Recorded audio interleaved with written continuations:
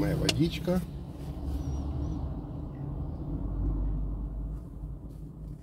Ух ты. Я тут получился. Сейчас только немножечко подрегулируем все.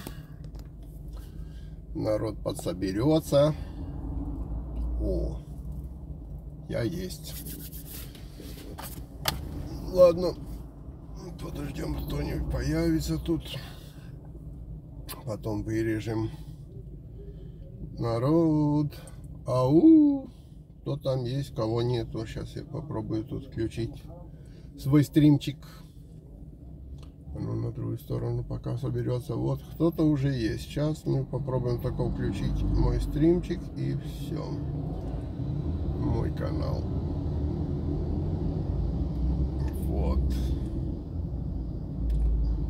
Зрителей два. Так, тут звук как-то надо выключить это хозяйство и поставить на паузу. Вот это так.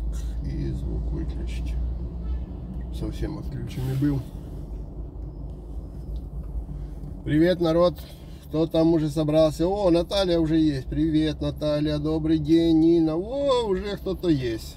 Максим есть. Все с добрым утром. И вас всех с добрым утром. У кого там... А, у нас, да, у нас утро как раз и есть. У нас сколько? 9 часов 1 минута. Приехал по делам, Свету привез, она пошла по своим делам, а у меня есть, не знаю сколько, может час, может меньше, а может и больше времени в машине посидеть потому что все равно здесь машину оставлять нельзя, утащат, ну, эвакуаторы. И я решил тут посидеть. С человеком не утащит. Если человек сидит в машине, даже если подъедет эвакуатор, вы должны знать, то он вас забрать не сможет, потому что это называется, ну, если вы там не хотите выйти или что, называется уже это похищение человека. То есть, если хозяин машины сидит в машине, ни черта ему не сделают. Максимум могут штраф там выписать, ну, за неправильную стоянку. Но я думаю, до этого не дойдет. Но лучше бы находиться. Особенно там, где именно я имею в виду, стоянка запрещена. А я сейчас стою в таком месте, где, в принципе, как бы, ну, и не, и не надо стоять. Но я надеюсь, что тут никто сегодня ездить не будет. Все-таки как-никак летом. Ну, посидим, постримим, поспрашиваем. Я так написал, от балды, рыба или мясо, думаю, надо с чего-то начать. А там уже на ваши вопросы поотвечаем. Ну, водички попил. Это был не на прошлой неделе, да. Не, ну да, на прошлой неделе. Были в конце недели, на выходные. Были в магазине, в супермаркете. Кота называется супермаркет. И там ходили, и меня заинтересовало, я даже на испанский канал там поставил этот самый маленький такой шорт про цену на рыбу, которая в супермаркете. Представляете? Была рыба, есть такая, у нас называется тарарира. Это речная рыба, даже не столько там она в реках, сколько во всяких болотах, там такие речушки маленькие, ну, в общем, таких зарослях. Наподобие, если честно говоря, наподобие щуки она. Только очень-очень костлявая. Ну просто, блин, пипец какая костлявая. Как правило, народ местный ее не берет. Это надо быть совсем уж там, не знаю, в каком поселке жить, чтобы там тарариру сидеть, жевать. Это вот типа щуки, только щука такая сладенькая. Это тоже с такой мордой противной, хищник. И очень костлявая, да, да не могу костлявая рыба. А как вы думаете, сколько в супермаркете тарарира стоит? Э, я удивился. Замороженная, вот в середине почищенная, так целая рыбка замороженная, стоит 1700 песо за килограмм рыбы. То есть одна рыбина выходит где-то две с половиной тысячи.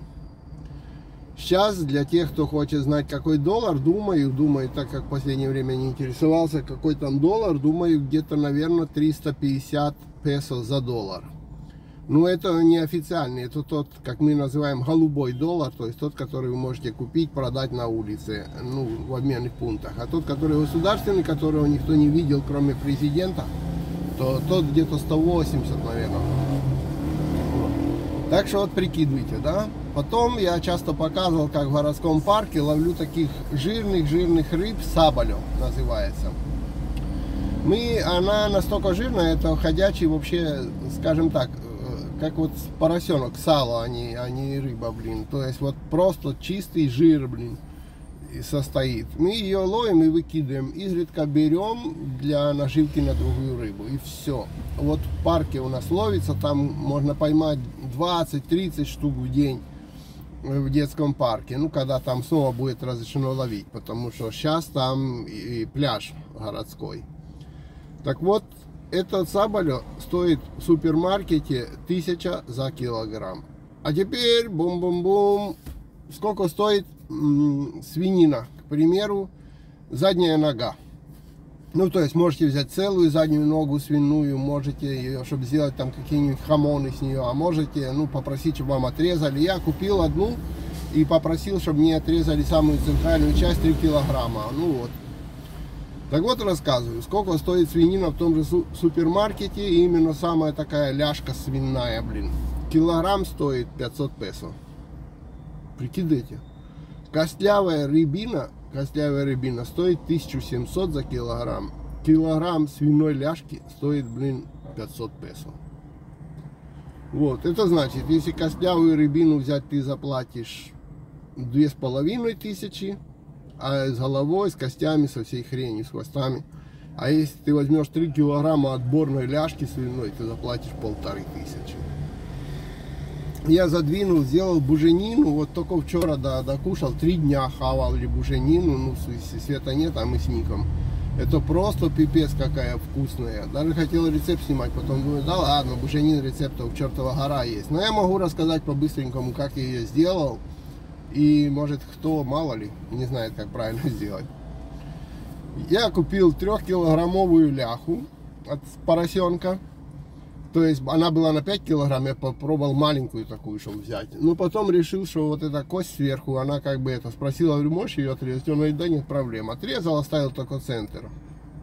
Значит, у меня есть горелка такая на газовом баллончике маленьком, знаете, такой вкручивается газовый баллончик, как для плиток переносных, все, и такая горелочка. Вот этой горелкой я прямо там шкуру обжег, получается такая, чтобы не было там никаких э, волос на этой шкуре. Я ее не стал срезать обжег горелкой на балконе на досточке.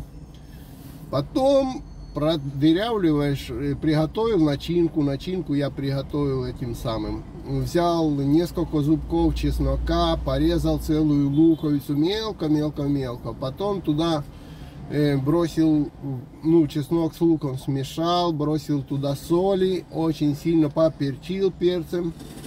Э, взял туда лаврового листочка, и все это в ступке потолок, чтобы оно все пустило сок и перемешалось. Потом дырки дырявишь в мясе, засовываешь туда все эти начинку в середину и так поглубже, поглубже, поглубже, чтобы она там пропитала мясо потом. И еще все, что осталось остальное, обмазал со всех сторон. Вложил кулек для запекания и оставил на ночь в холодильнике, чтобы оно вот прямо вот лежало и мариновалось. После того, как помариновалось, на следующий день разогреваешь духовку до 180 градусов, завязываешь кулек для запекания, прорезаешь только дырочку для того сверху, чтобы выходил воздух, если сильно уж наберется спертый. И самое главное, это выставить правильно температуры. У меня есть термометр профессиональный, специально купил, который показывает две температуры. Он еще на Bluetooth работает. То есть э, у него два. Одна такая штучка, куда вставляются датчики. А вторая штука, которую ты около себя держишь в другой комнате, там выставляешь температуры и сигнализацию, чтобы она пикала, если температура превышается. В общем, на два таких датчика. Один датчик ложишь рядом с мясом в духовке, то есть на открытом, вот рядом с мясом. А один датчик всовываешь середину мяса в самый-самый центр. И выставляешь, чтобы снаружи было 180, максимум 185 градусов. А в самый-самый центр, чтобы запиликало тогда, когда температура там дойдет до 79 градусов. Вот, когда доходит до 79, выключаешь, вырубаешь. Получается, снаружи полностью... Блин, автобус не может проехать. А что за хрень? Ой, он, наверное, еще меня может зацепить, этот автобус. Не проехал, хотел отъехать, даже дать ему. Это как-то автобус совсем там не мог уже. Тут разгружается впереди. Вон там с той стороны приехали, разгружается. Ладно, отъехали, проехал. Вот. И представляете, что получается? В таком случае у вас получается корка румяная такая на мясе, потому что вы давали 180 градусов и не больше. Если будет меньше, будет течь и не будет румяной корки. И в середине запеченная. Получилась такая буженина. Эта буженина здоровенная не вышла в два раза дешевле. Блин, они тут когда поворачивают, все время пытаются у меня въехать. Из-за одних, которые здесь разгружаются. Здесь рядом стоит грузовик, разгружает Кока-Колу и все такое. И он так неудобно стал, что никто не может повернуть нормально и пытается за меня зацепиться. Ну ладно, надеюсь, что не зацепятся. Да и грузовик, наверное, долго стоять не будет. Так что вот, рекомендую, что покупать. Потому и говорят, почему аргентинцы не едят рыбу, почему рыба такая дорогая. Да потому вот и дорогая, что аргентинцы рыбу не едят. Потому, что, потому и рыба вот в таких ценах. Мардель платят, там ловят эту рыбу, китайцы приплывают в Аргентину ловить рыбу. Все браконьерничают, ловят все страны рыбу, а прикидывайте, а аргентинцы вот держат вот такую цену долбаную. Так, что мне пишут? Доброе утро, доброе утро, здрасте вам. В кого на карте так? В Кото по карте коммунидат хорошие скидки бывают. Бывают. Коммунидат Кото надо с собой носить и всегда там бывают хорошие скидки. Кстати, кто-то мне там писал э, не так давно, что вот ты не прав, когда кото скидки там типа 2 по 3 или что-то такого стиля на вино, мол, не, не обязательно брать 3 одинаковых вина, а можно брать 3 любые и скидка все равно будет по 30% от цены на каждую бутылку. Вот сразу скажу, это он просто ошибается. Если такие скидки, надо смотреть на эти самые на табличку, которая написана. Бывает, бывает такое, что можно взять разные, но все равно одной и той же самой бодеги, то есть одной и того же самого винного завода, но разные. А так просто набрать разных и потом с каждого будет скидка 30%, это неправильно, так не будет. Блин, этот проехал, просканировал номера за разом. Как в последнее время раз, развился Буэнос-Айрес, все время, где не станешь, проезжает какой-нибудь мотоцикл, что-то сканирует, и кто там не так стоит, хана им, блин, всем. Так что тут очень такие, как бы, надо осторожненько так вот приструниваться, стоять, а то засканирует не в ту сторону. Придется сейчас, наверное, где-то поехать, немножко поездить. Так, вы мне попишите, а я, наверное, все-таки постараюсь передвинуться. Хотя фиг там, мы сделаем фокус. Я знаю, как спасаться. Смотрите, мы сейчас как сделаем фокус. Для того, чтобы тебя, ну, типа, не засканировали неправильно.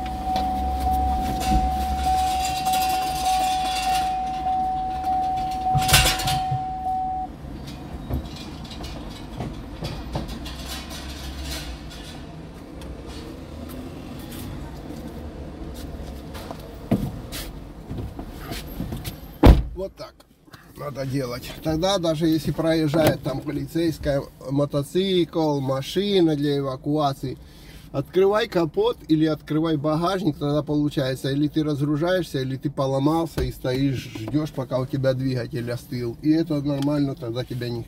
Даже если сфотографировали, что ты стоял не так, все равно это не будет э, действовать для того, что тебе не выпишут штраф. Так что вот, я вам подсказал креативчик как бы на айресе стоять там, где нельзя. Поднимайте капот или багажник, включайте мигалки и стойте. Так. 2000 песо 750 рублей. Наверное, это официальный курс Google выдает. Ну, наверное, официальный курс. 2000 песо. Э, а, ну я не знаю в рублях, если честно сказать. Ну, сейчас вот доллар где-то 350 песо. Это если живой доллар, тот, который у вас есть, вы можете пойти где-то поменять в обменном пункте, то 350 приблизительно.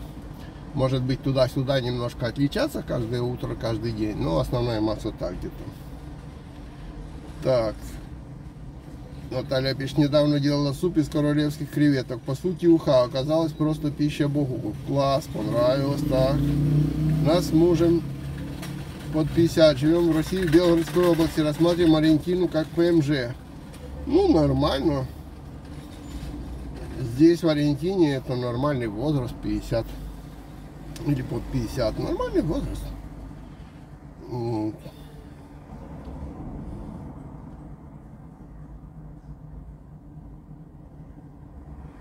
Спасибо за информацию. Страшно от того, что нет никого знакомого в вашей стране. Да не, блин, это не страшно, это наоборот нормально. Тут приедете, тут у вас знакомых будет больше, чем дома, блин, потому что тут такие толпы бегают по улице сейчас русскоязычных, что страшно разговаривать на русском языке, все тебя понимают. Это раньше можно было идти и болтать по улицам, как хочешь между собой на русском. Сейчас идешь, болтаешь, думаешь, о, те прошли, те прошли, те прошли, на тебя озираются. Так что как раз чего-чего, а вот русских тут сейчас хватает.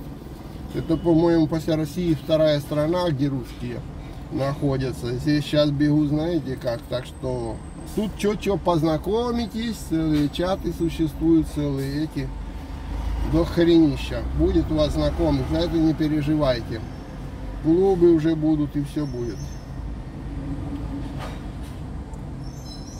Пересмотрела тысячу видео, вопросы больше стало, чем ответов. Ну так задавайте ваши вопросы, я вам поотвечаю, если так это самое прямо. Какие тут вопросы могут быть?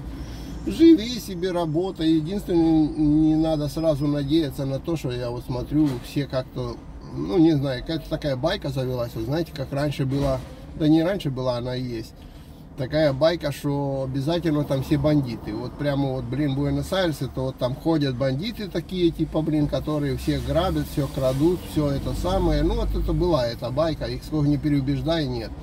Теперь появилась новая байка, которая тоже вот это, я вижу, что ее не искоренить. Ты хоть что, доказывай, показывай, все равно не искоренишь. Это что все сюда приедут и всем дадут здесь паспорта. Они прямо вот приезжают и даже не хотят и чуть-чуть замысливаться о том, что половина из них никаких паспортов здесь не получит. Они настолько убежденные, что Аргентина это страна раздачи паспортов, что просто пипец. Это вот второй миф, который существует после того, что здесь все бандиты, а второй миф это, что Аргентина всем раздаст паспорта. Вот они просто даже не обсуждается той вопрос, что как его там получить, когда ты его получишь, что может быть такой вариант, что не получишь. Нет, нет, это вот, это просто типа, блин, как обязано. Вот они приедут и им тут просто паспорта будут на границе раздавать. Ну-ну. Так что рассчитывайте на то, что может получить, а может не получить. Ну, если так, чтобы реально быть, а не так, как в байки эти слухать в интернете. Вот знак аварийной остановки не нужно выставлять, ну в городе никто не будет. Знак аварийной остановки надо выставлять тогда, когда вы действительно аварийно остановились где-то на трассе, а в городе от того, что вы остановились, на, ну понятно, тут написано разгрузка, погрузка или там остановка запрещена, а вы стали постоять, то все равно все так и делают. Увидите еще что тут на всех, ну, по мигалке включает, что-нибудь откроет, что он типа разгружается, погружается, или что он перегрелся, или что он там кого-то ждет, сидит, э, стоит около машины и так далее, ну, ничего не будет. Это как бы считается, что ты там пассажира ждешь, отъехать, переехать. Вот. Знак аварийной остановки надо же, если выставлять его, надо выставлять заранее, а кто тут в городе даст тебе столько пространства, чтобы ты там выставил свои знаки. Так что не поможет знак. Так. Леонид, а как с быстрым ростом цен успевать зарабатывать, если не в валюте, а в песо? Все время об этом думаю. Очень просто, и все тут так думают, и так и зарабатывают. То есть, вот, к примеру, я вам скажу. Сейчас я вот смотрю, допустим, там переставить Windows, ну, программы, скажем так, переставить на компьютере, ну, в среднем сейчас где-то 10 тысяч песо за переустановку, на отформатировать, переустановить там всякие программки, все такое. Вот так утром просыпаешься, цены почитал, допустим, сколько сейчас в термах переспать в кампинге. Вот поехать в термы и переспать в кемпинге ночью, как вы думаете? Тут недалеко, в Энтре-Риос, к примеру. Вот в кемпинге переспать трем человекам будет стоить 15 тысяч за одну ночь. Заплатить за место, где ты поставишь палатку. Ты прикидываешь, думаешь, блин, ты что, будешь компьютер делать за 10 тысяч? Вот раз репу почесал, думаешь, не, блин, все, с сегодняшнего дня 15 тысяч за ремонт компьютера. Вот, вот так цены, вот так и успевать. То есть ты утром посмотрел, хоба, Все все подняли. Ты взял, все поднял. Тут все так живут, а как вы думаете? Тут кто-то по-другому что-то высчитывает индексы, там, смотрит на биржи, на курсы валют. Тут, блин, утром просыпаешься, блин, оба. Так, помидоры поднялись, потому что засуха большая. Хорошо, так, клубника поднялась. Ну, а я что, блин, дур, дурнее всех? Нет, тоже бух сразу два раза, все, чао. Нормально. Кому надо, тот придет, заплатит. Он же так же сам у себя на магазине все поднял или на своих услугах. Вы думаете, что? Тут кто не поднимает, тот и дурак. Так что все, кому надо, блин, компьютер э, переставить, как говорят, Windows, там русскоязычный, еще что-то. Вот сегодня 15, спешите, а то будет завтра 20. Вот. Звоните, переставим. Так вот и выживаем. Так все делают. Вы думаете, что-то у других как-то не так. Так же оно и есть. Приходишь, вот столько платил сегодня, столько завтра. Я вот в прошлом году был в одних э, кабанях. Кабани это домики, где снимал. Вот в прошлом году. Да, там три с половиной тысячи было. Ну, понятно, не сезон, то все. Сейчас, сегодня утром перед стримом написал сообщение хозяйке этих кабаней. Говорю, так и так, блин. Сколько сейчас у вас стоит? 12. Четыре раза. Соответственно, если у нее кабаня стала в 4 раза 12, значит надо переставлять уже все за 20 тысяч. Все нормально. Это очень просто делается. Так, про стереотипы. Сегодня девушка из Кемерово спросила у меня, так как я в Питере, правда, что ли в Питере куча наркоманов, прям на каждом шагу. Я ни одного не видел ни разу, мифы они такие. Ну да, и это правда я же говорю, добрый день из Польши. Привет, Польша. Как там у вас дела? Вот, Юля. Не, здесь вот эти вот, просто есть тут куча чатиков всяких, которые выскакивают в Телеграме. И там я про эти стереотипы говорю, что, ну, как заглядываешь, и вот как бы люди убеждены, убеждены в том, что им здесь обязаны дать. И начинает возмущаться, типа, если даже это типа долго там или еще что-то, ну как это так, что долго. Слушайте, что-то мне не нравится, как я стою, наверное, я проеду где-то в другое место. Заодно и постримим, и объедем. А ну поищем, может, где в другом месте стоим. Хотя, мне тут недолго осталось, уже столько перестоял. Сейчас уже эти уберутся со своим грузовиком и будет все нормально. Да, вот этот грузовик уже уезжает скоро. Уже, я так понимаю, они последнюю пачку там раздубасили. И после того, как оно едет, станет все окей. Так, шалом. Лучше сало.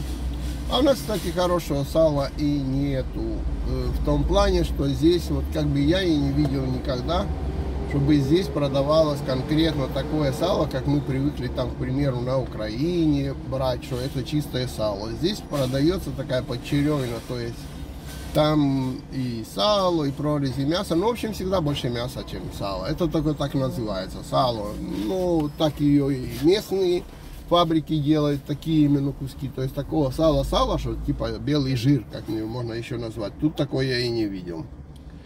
О, Борис, Леня, привет, приветики, приветики. Как вы там поживаете? У нас вчера был немножко даже такой дождик, сегодня с утречка было так чуть, чуток затучено, чуток.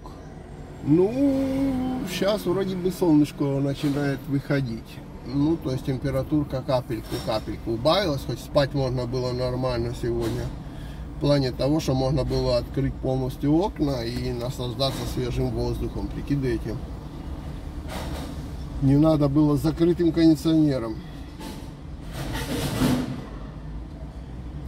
Так, Леонид, подскажите, пожалуйста, москитные сетки на окнах, как я понял, не распространенное дело в Буэнос-Айресе. Слышал, растения специально сажают горшочки, ставят на подоконники от комаров. Смотрите, я бы даже больше сказал, здесь комары, в принципе, явление не распространенное в Буэнос-Айресе. То есть не то, что комаров нет, конечно, комары есть. Но вполне нормально спасаться, вставил какую-нибудь дымучку в этот самый. Только не вот ту, которая палят там спичками и такая спираль, и она горит, там дымит. Нет. В резетку вставляешь, потом туда таблетку Фуджи или еще какую-нибудь там И такой приборчик, он там чуток запах выделяет, и в принципе этого достаточно, скажем честно. И то напор комаров будет, когда пойдут э, осенние дожди, вот тогда будет какой-то 2-3 недели, что будут в принципе доставать комары.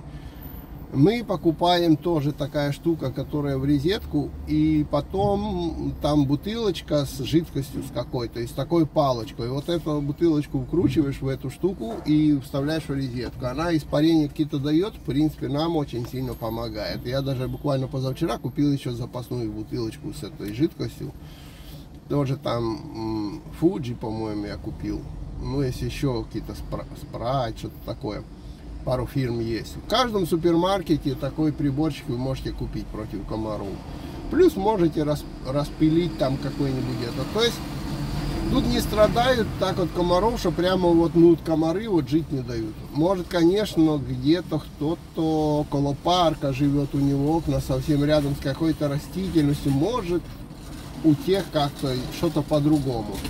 Но вот на этажах скажем так, в больших зданиях, я бы вообще не сказал бы, что комары это какая-то, блин, проблема. Я как-то на них особое внимание-то не обращаю. Знаю, что в конце лета, где-то в марте, в апреле, 2-3 недели будет период комаров. Ну, вот этих вот дымучек, вставленных в розетку, в принципе, будет достаточно для того, чтобы они вас не доставали, когда спят. Все равно в Буэнос-Айресе жарко, по-нормальному надо спать с открытым балконом полностью, там с открытыми полностью окнами, чтобы было много свежего воздуха и все в таком духе. Иначе это все э, фигня.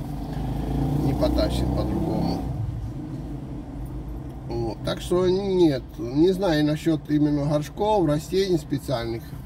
Э, сетку против комаров даже, ну не знаю, тоже думаю, что найти, наверное, где-то можно, но это не распространено. Но я же говорю, вот купите вот эту штуку, которая в розетку втыкается. Купите две, если у вас там в каждой комнате потыкайте эти штуки на ночь. Днем они и так вам не мешают. Особенно если у вас есть вентилятор какой-нибудь, он их сдувает там.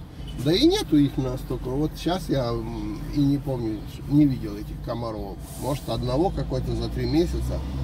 То вообще, ну, в смысле, как бы не проблема. Так, как с ассортиментом фруктов круглый год? Я ела фрукты постоянно. То, что зимой качество очень плохое, выбор маленький и дорого. Да, фрукты, в принципе, фрукты и овощи здесь круглый год. Во-первых, потому что половина Аргентины круглый год их имеет. Во-вторых, рядом Бразилия находится, и тоже оттуда можно привезти зимой здесь э, сезон цитрусовых, это самое дешевое, что существует в Аргентине, наверное, из овощного магазине, это в сезон цитрусовые, типа апельсины, мандарины, все вот такое. Так что да, в это. Просто, конечно, лучше всего брать э, фрукты в сезон. То есть цитрусовые, вот сейчас они уже немного мягкие, полежавшие. А, к примеру, зимой это самое, самое сочное, самое то клубнику тоже будет круглый год, но всегда будет дорогая. А вот сезон, когда только весна наступает, клубника будет, ну, дешевле, скажем так. Не то, что она будет дешевая, но дешевле. То есть есть на каждый овощ, фрукт свой сезон. Но, в принципе, да, все круглый год существует. Потому здесь нет никаких закаток, никто не делает никакие заготовки на зиму, закатки, там, варенье, консервации. Вся эта фигня отсутствует при, при большом желании можно, конечно, себе засолить там огурчики, капусту какую-то, помидорчики. Но это на любителя, это на каждую хозяйку в отдельности. То есть, если тебе так прямо приперло, ты можешь сама себе трохи сделать, там поставить какую-то одну баночку. Но как таковых закаток, засолок за этих не делать, потому что зимы как таковой здесь нет. Тут это все в овощном магазине круглый год свежее. Нафига ее закатывать.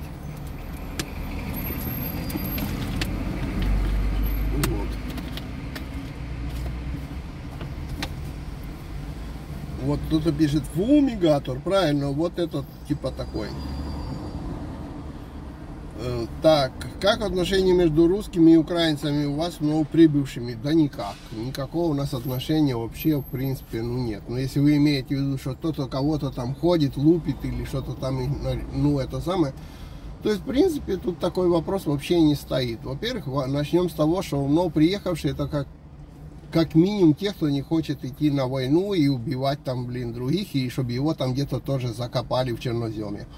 Это первый вариант. Даже если он совсем на голову трахнутый, даже если он зетник, он все равно сюда сбежал, потому что уже польза от него хотя бы какая-то, что он не там бегает. Так что пускай себе бродят. Это раз. Второе, они кучкуются между собой, потому что языка они не знают. Соответственно, им где кого надо бизнес какой-то делать, они между собой там типа начинают там кто кому ногти поделать, кто кому валюту продаст, кто кому там USDT поменяет. Ну, то есть у них как бы бизнес там, потому что к они еще не влились. Все, кто начал сюда ехать, массу сюда надо, начали ехать только несколько месяцев назад, когда мобилизацию объявили. Соответственно, что получается? Они еще все по визам туристы. Мало кто только второй раз туристическую визу продлил как бы на три месяца, на следующих три месяца. Потому что без визового на три месяца, потом можно продлить еще на три. То есть пока что все в этом статусе находятся. Это мало кто приехал именно беременный, родит ребенка и сразу будет уже усваиваться как там на гражданство, там на ПМЖ подавать и все такое. Основная масса это туристы. Они еще не знают языка, они еще не влились в аргентинское общество. Так что они между собой кучкуются, договариваются, встречаются. У них свой виртуальный мир – никто не бегает за украинцами. Украинцам нефиг делать, бегать там за ними, зачем. Вот. Те, кто здесь живет, они занимаются своей работой, не ходят на работу, ведут свой бизнес, блин. Ну, не до этого. То есть таких каких-то, если вы имеете в виду там столкновений между русскими и украинцами, то этого здесь я не видел. Я не встречал. Это опять же, тут люди как-то привыкли смотреть э, идиот он или нет, а не то, какой он там национальности. Какая разница нафиг, кто какой национальности. Главное, что если человек нормальный, нормальный, с ним там дружат, общаются. Если он идиот, так он, блин, может быть и китайцем, и аргентинцем, и русским, и украинцем. Если он идиот, себя ведет по-идиотски, то с ним никто не общается. Да и все. То есть как таковых прямо вот, что по национальности там бегают те с украинскими флагами, а те с русскими, то я такого здесь не встречал честно говоря. Основная масса, вся, что сюда рвет, она тут побегает, побегает, и, конечно, процентов 70 от них, когда там все успокоится, они уедут. Потому они здесь не приживутся. Ну, а процентов 20-25, конечно, останется и будет жить, жить всегда. Так что это тоже те люди, которые, ну, интегрируются, скажем, в Аргентину. Так что, ну вот этих отношений я не видел, чтобы там бегали украинцы именно против русских, или наоборот русские против украинцев, или что-то такого стиля. Нет, устраиваются, живут как-то. Пускай устраиваются. Почему-то говорят самые злые и прожорливые комары в Сибири и Якутии, а не там, где климат помягче. Может и так. Ну, я не знаю, проблема с комарами как бы такая не торчит у нас. Доброе утро. Подскажите, пожалуйста, какое качество водопроводной воды? Стоит ли покупать фильтры воды? Я рекомендую покупать фильтр для воды, угольный фильтр. Качество, в принципе, пить можно, но я не думаю, что она вам понравится, потому что очень хлорированная. Ясный перечень, для того, чтобы ее пить, надо хорошо хлорировать и все в таком духе. Мы пользуемся фильтром для воды, плюс опять же даже изредка, когда фильтр уже ну там долго не менялся или что, то покупаем даже воду питьевую, хотя там тоже можно купить ту же фильтрованную воду. Есть минеральная вода натуральная, скажем, привезенная с гор, там с Мендосы, то все, а есть просто очищенная, агуа де называется, то есть с того же самого фильтра в соседнем доме, там пересадили в бутылки, накидали, да и сдали в магазин.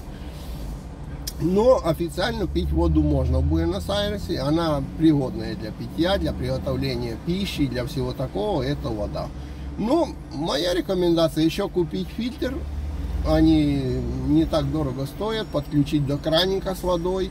И когда вы готовите кушать или что, набирайте воду просто через фильтр. Таким образом вы не будете вот этот запах хлорки сильно ощущать. Все в таком духе.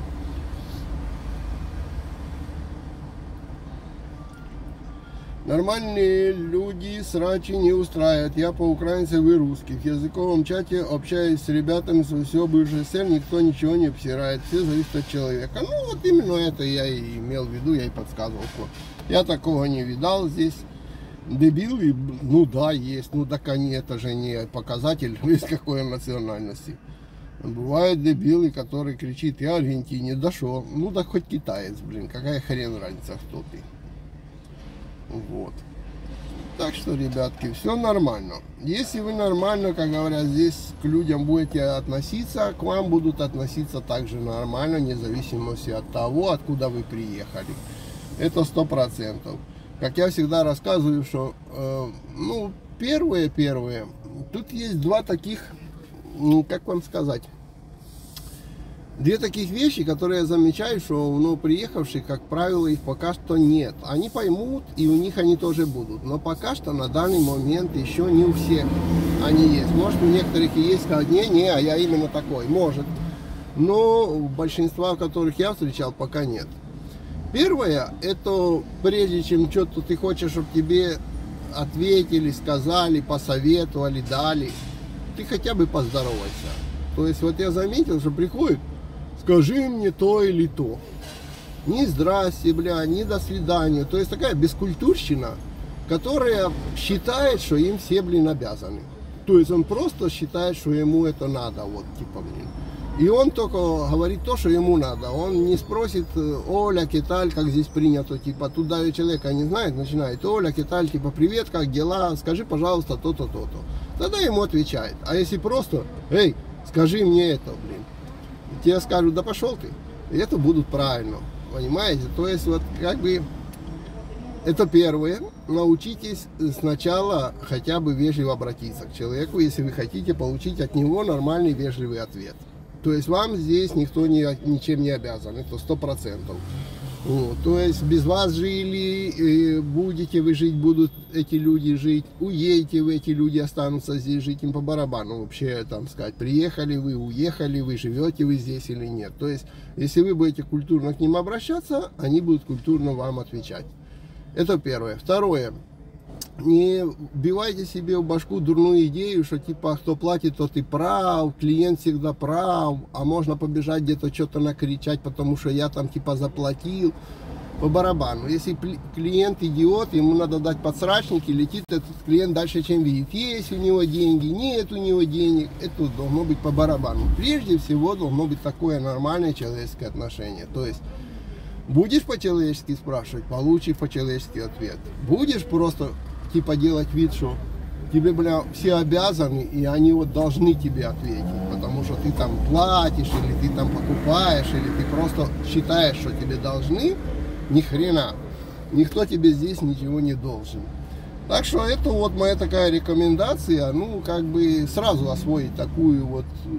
Аргентинцы довольно-таки спокойный народ, размеренный народ, они, как правило, как правило, ну, если это не, не опаздывает на работу, как правило, очень спокойные, уравновешенные. В том плане, что он еще долго и нудно репу почешет, прежде чем тебе там что-то рассказать, ответить. То есть ему вот это все, что тебе очень быстро надо, оно ему нафиг не надо. Он ответит, когда захочет, он сделает, когда захочет. То есть вы можете 150 раз кричать, не сейчас прямо надо, но оно ему может быть совершенно не надо. Он тебе ответит завтра, скажет маняна, блин, ну, приходи маняна, типа завтра приходи. Вот. Так, к сожалению, русские и украинцы э, так всюду общаются довольно часто и общаются по-русски, шок не понял нифига, что значит общается по-русски. Ну, общается по-русски, чтобы поняли, если мы будем говорить тут на украинском, то кто нас поймет. Это раз. Мы можем по-испански общаться. Ну, я вообще считаю, что язык это вообще ни, ни, ничего не значит нахрен.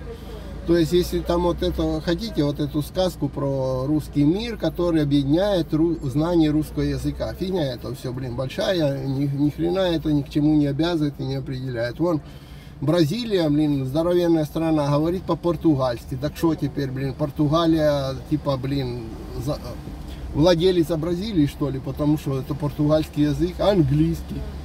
Полмира говорит на английском языке, общается на английском языке. Так что теперь, самая главная страна в мире это Англия. То есть это фигня с этим языком, вот на каком общаться, на каком людям удобно, на том и общается. Я вообще не обращаю внимания на то, кому это он там типа считается по стране принадлежит и все. У нас этот язык знали 15 стран, которые были в Советском Союзе. Если людям между собой надо общаться, они этим языком общаются. Знали бы мы французский, общались бы, блин, на французском. Какая хрен разница, на каком языке люди общаются. Нормальные люди общаются на том языке, на котором могут друг друга понять. Вот прикол в чем. Так что, блин, на каком языке общается, это совершенно не относится к тому, что там это русский именно или не русский. Научатся те, кто приехал сюда испанскому, будут общаться на испанском. Это все без разницы. Так, где мы остановились?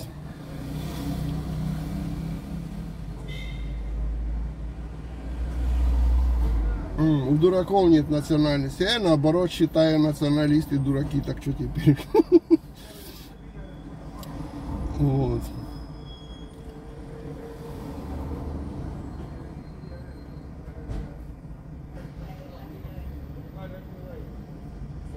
Ну, не понял я тут про это. Молодежь, к сожалению, так общается. Чего она там общается, что там шок, блин. Мы с этим ни хрена не понял, скажу честно.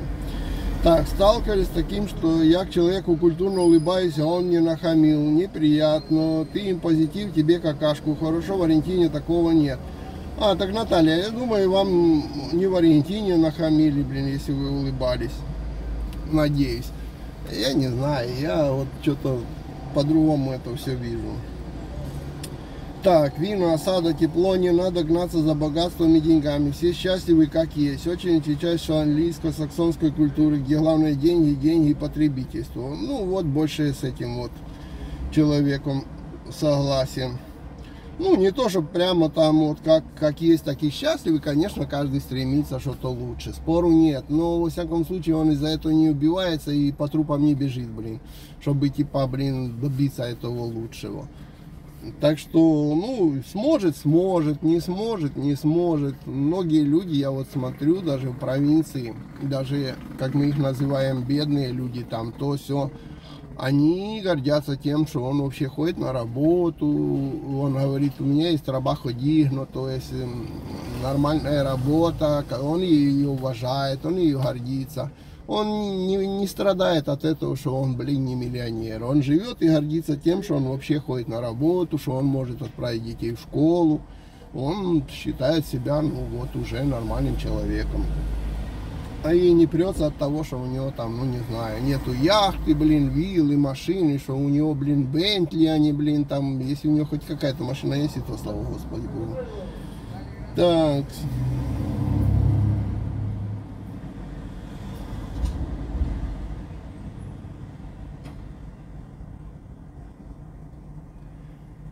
Так, смотрел недавно на канале редакция про Аргентину. Странная страна, конечно, но столько возможностей, такая разруха в экономике, там людям ничего не надо, довольны тем, что есть. Нет, это немножко не так. Дело в том, что эта страна была очень богатая до прихода всех этих перронов и всего такого. Здесь Национальный банк Аргентины физически не влезал еще один слиток золота. Потом пришли, как говорят, те, кто за родину, за, за этот самый, ну, в общем, социалисты, коммунисты, скажем так. И началось, что в долгах, как в шелках и все такое. Зато они очень круто живут. Это раз. Второе, разруха. Я смотрю, вот честно говоря, на богатую Россию, там разруха в провинциях побольше аргентинской будет. Так что, знаете, тут еще тоже сказать можно так. То есть, город есть город, а как бы страна есть страна. Тут все же связано с политиками, а не со страной. Причем тут это самое. Я же говорю, если вы почитаете историю Аргентины, то вы будете знать, что до прихода Перона в Национальном банке Аргентины есть даже есть фотографии, где стоят банкиры, блин, и хранилище Национального банка. Сзади такие столько слитков золота, что туда уже физически больше золота не влезало. Ну а потом пришли патриоты, блин, править страной. Ну и вот правят до сих пор. Ну, мы тоже надеемся, все-таки у нас выборы происходят, у нас на выборах еще что-то меняется. Прикидывайте, блин, что у нас на выборах еще меняется, там каждые 5 лет какой-то президент, 4 года меняется. Не так, как у некоторых, по 30 лет один и тот же. А у нас все-таки как-то меняется. Вот мы надеемся, что в этом году у нас снова выборы, а вдруг мы снова нового себе выберем президента. Ну, правда, можно выбрать, и он снова будет вести такую же похожую политику. И такое бывает, конечно, но все равно хоть какая-то развлекуха, хоть периодически что-то меняется. У некоторых такой развлекухи себе не могут позволить. У них, блин, кого 20 лет, 25 лет, все одно и то же нахрен. Как стал первым президентом, так, блин, не нескончаемый. Пока только в гроб не унесли, блин, уже когда умер. Тогда поменялось. Зато называется у нас демократия. Ну, а у нас, видите, дикий край, но каждые 4 года на выборах что-то меняется. Ой. Вот в этом году будут выборы. Я надеюсь, к примеру, что здесь будет изменение. Потому что смотрю уже на кандидатов, они уже, в принципе, э, ведут, скажем так, негласно свою предвыборную кампанию. Там с народом, там с народом, там уже с рыбаками сидит, там уже где-то кого-то это. Сегодня ночью уже там где-то пожар на Костанере, Сур был, там уже с пожарниками где-то фоткаются. То есть наши кандидаты уже не спят, они уже вот начинает фоткаться, фоткаться, фоткаться, чтобы везде в социальных сетях уже светиться, что да как. Так что посмотрим, что дело кончится.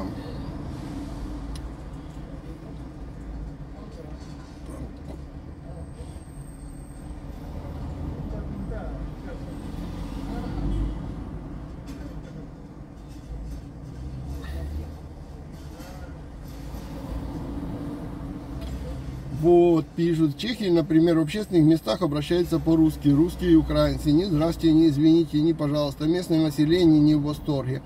Ну, а здесь, видите, здесь в общественных местах ты нигде ни на каком русском не обратишься, только между собой. Тут никто его не знает и знать не будет.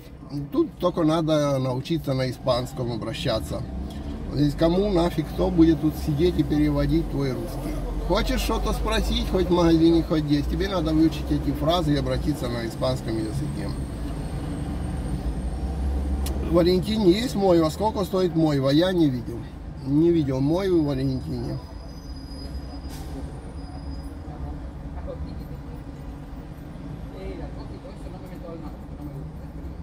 В России нахамили, про СНГ часто людям хамят. Я же об этом и говорю, что многие эту привычку долбаную свою никак дома не могут оставить. Они думают, что во всем мире оно так, что типа если у него есть бабло, то он из себя что-то представляет. Он даже поверить не может, что он в принципе здесь никто, блин.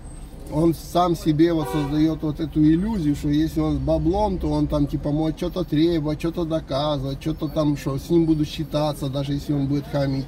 А в Аргентине как-то вообще я вот заметил, что это вот э, фишка по барабану, блин. Кто ты там про себя думаешь, кто ты есть на самом деле? Это всего лишь навсего в твоих мыслях, блин. Так, вы же сами говорили о вежливом общении. Комментарий был как раз на эту тему. Ну, тогда я просто не понял. Я же говорю, что я не понял тот комментарий. Может, оно и я и не понял, я же говорю. Вот здесь со мной такое же происходило когда-то. Не, не потому что я там грубый, я никогда им не был, в принципе, тем более, когда приехал, тут тогда не было даже интернета, тогда не было вот этих сообществ, тогда не было никаких чатов, телеграммов, там, страниц в интернете. Это был 96 год. Интернет еще не существовал как таковой. Соответственно, здесь, ну, мало кого встретишь на улице, поздороваешься, пообщаешься, все, вот это все твои знакомства. То есть с одной стороны, конечно, нам приходилось все узнавать самим, и узнавать только в аргентинцев, потому что где еще было как узнать. Соответственно, надо было все время учить язык, с ними общаться. Ну вот, к примеру, я тогда еще заметил те годы, когда я подъезжаю и хочу у кого-то что-то спросить, или подходишь к человеку и что-то спрашиваешь. Вот мне один случай так запомнится, что с тех пор я это надолго запомнил.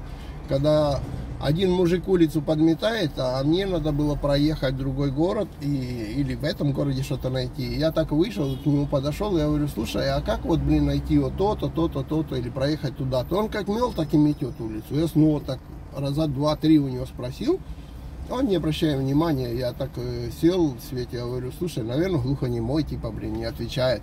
Он такой, говорит, сначала надо сказать здрасте, блин, если хотишь, чтобы тебе что-то ответили. А до таких, говорит, некультурных, как ты, блин, я даже отвечать не хочу.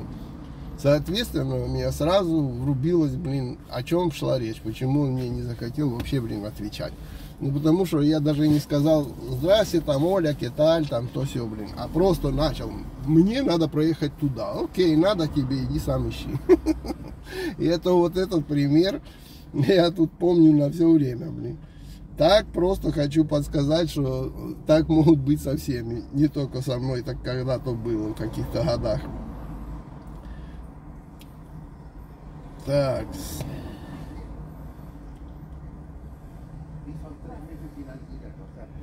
С морепродуктами в Буэнос-Айресе все плохо. Креветки, гребешки, рыба в изобилии или нет? Э, я так понял, что распространено только мясо или ошибаюсь. Смотрите. Смотря где.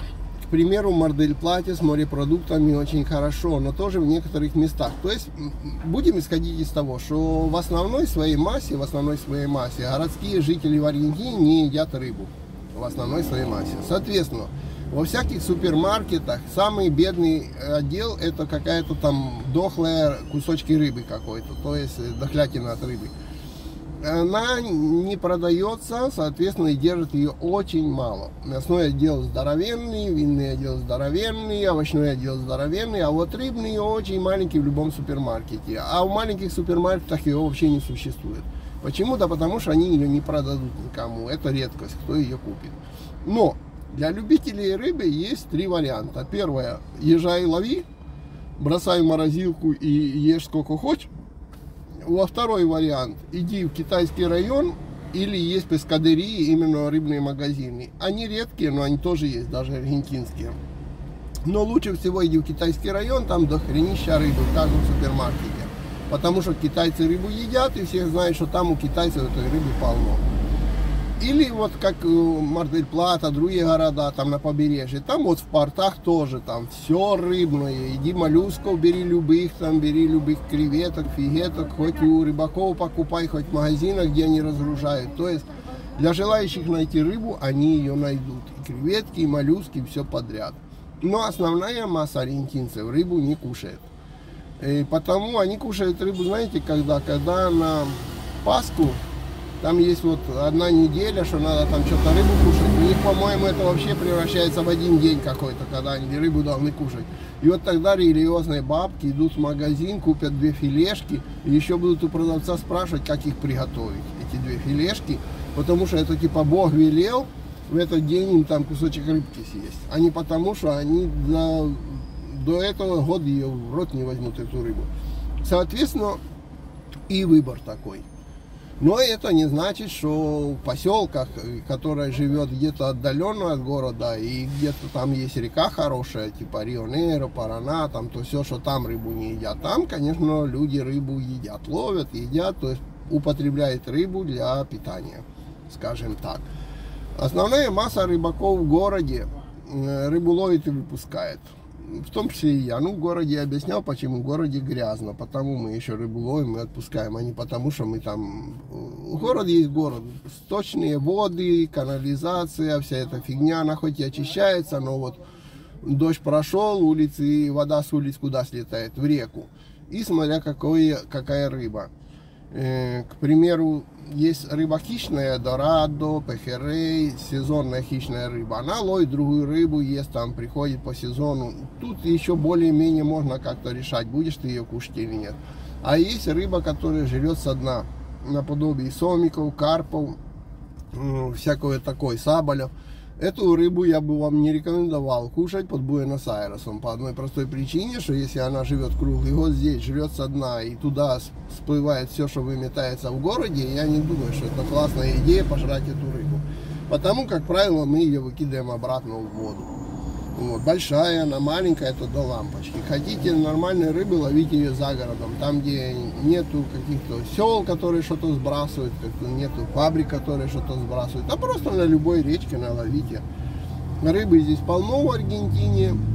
Э, лицензия на рыбалку дешевая, то есть, в принципе, половина тут вообще я никогда в глаза не видел эту лицензию. Ну, половина некоторая берет, но она очень дешевая. Берите, ловите, хотите, покупайте. То есть при желании найти всякие морскую рыбу и все, да пожалуйста. Найдете, купите. и будете брать.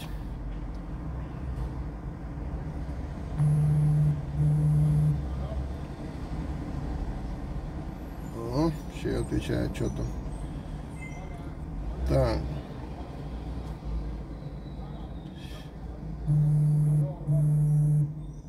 Это пикает у меня WhatsApp, я потом посмотрю. Дело в том, что я утром послал одной хозяйке одних домиков за 500 километров отсюда спросить, сколько у нее домики стоит. И она мне ответила, сколько домики стоит. Но теперь она что-то резко активизировалась еще что-то там отвечать. Я думаю, она сейчас начнет предлагать какие-нибудь скидки, так как я отнесся, сказал спасибо, если что, я вам перезвоню.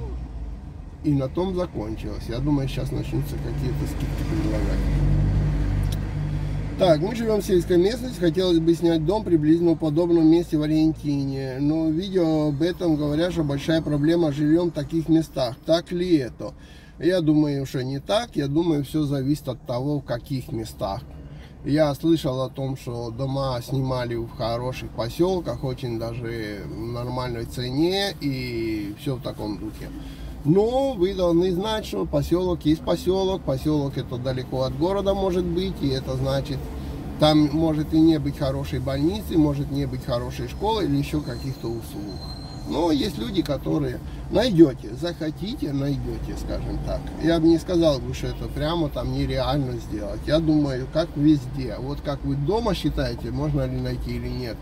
Надо смотреть, какая провинция, какой район, какой поселок сильно туристический, где прямо там, не знаю, на океане, на побережье, это одно. Просто в каком-то кампо это совсем другое. Так. Пивоваров многое объяснил по поводу проблем экономики. Ну, объяснил, так объяснил. Я не смотрел, не знаю, что там кто объяснял, скажу правду. Я не смотрел, понятия не имею, кто такой Пивоваров. Скажу вам честно, не потому, что там это самое, а правда, не имею понятия, кто такой пивоваров и что он там объяснил. Но если вы считаете, что правильно объяснил, я же с этим спорить не буду, бо я не видел. Так, недавно смотрела видео, девушка живет в деревне близ Кордовы, еще говорят Аргентина, банановая республика. Деревня обычная, но все так ухожено красиво, ровные дороги, ухоженные газоны.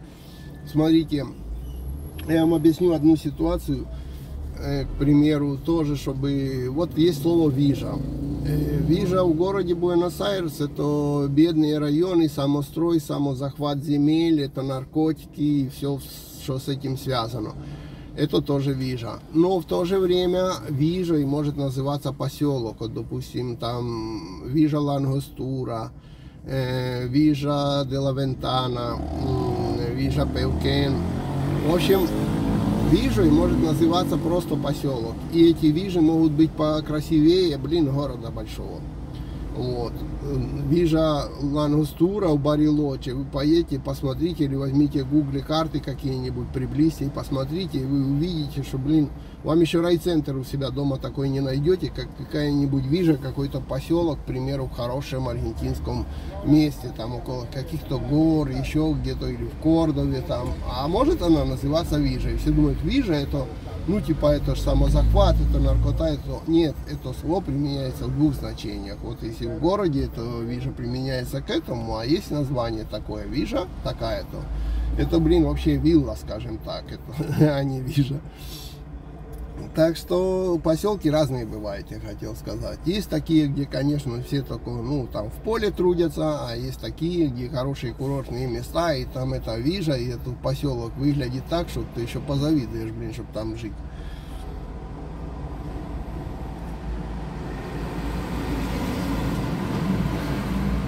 Нам бы поучиться многому на самом деле, это правда. Дорога, правда, хорошая в Аргентине? Да, правда. Дороги очень хорошие в Аргентине, не без того, что вы где-то можете встретить грунтовку. Ну, это понятно, что могут быть грунтовые дороги где-то. Ну, в основной своей массе дорога, которая обозначенная на карте, она очень хорошая.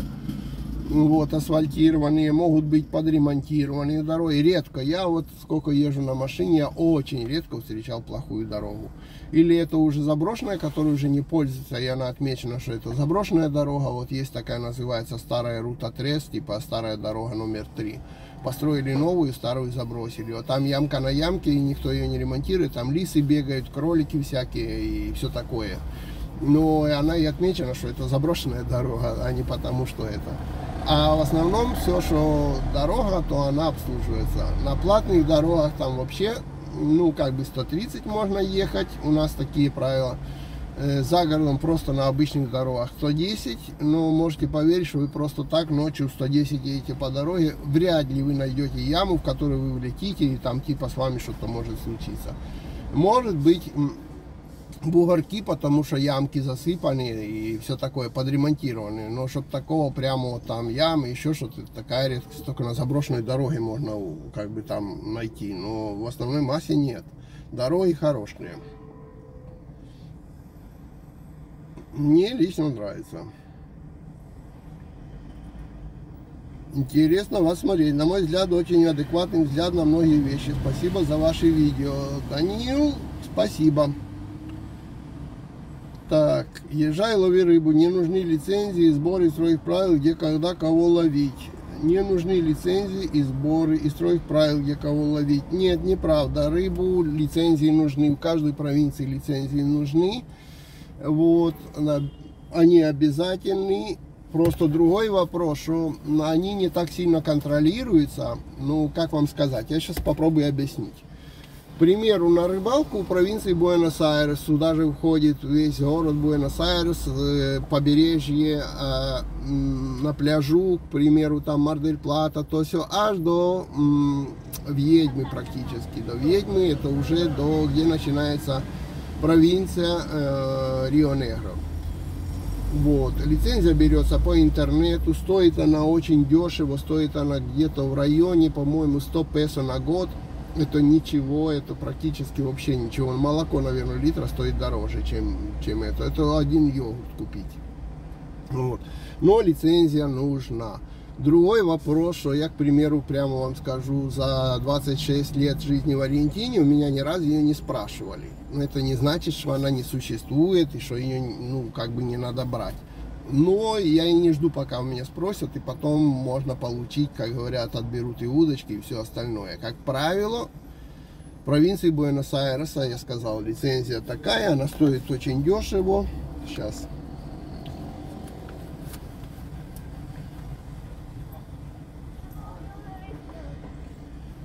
Я тут кое-что закрою, но вам покажу вот, ну, свой документ, так сказать, закрою и полностью это. Вот лицензия для рыбалки на этот год. Вот номер моей лицензии и годная она до 4.9.23 года. Вот я брал 4.9, это на провинцию Буэнос-Айрес. Вот она у меня в кошельке лежит. И в машине второй экземпляр в бардачке валяется. Вот. И имеешь право ловить на океане, имеешь право ловить на реках, озерах, есть свои правила, они очень маленькие, там брошюрка этих правил, когда там какой-то нерест идет и то и все, даже в нерест, субботу, воскресенье, выходной ловить можно. Вот, и это все. Теперь есть маритима, она и так сетями, в принципе, можно ловить в океане, но ты можешь взять еще морскую лицензию в провинции Буэнос-Айрес, она будет стоить еще дешевле. Это типа сетями вообще в океане ловить. Но теперь берем, допустим, другую провинцию рядом. Провинция Интеририос называется. У них лицензия не на год целый, как здесь, вот я показал. У них лицензия до конца года годовая считается. У них есть два типа лицензии на рыбалку. Одна на 4 дня туристическая, одна на год. Как они говорят, на год. Но это не на год, это до конца года. И, к примеру, последние цифры, которые я знаю, может сейчас подорожало, было такое, на 4 дня стоило 1200, а в провинции Буэнос-Айреса 70 или 100. Вот.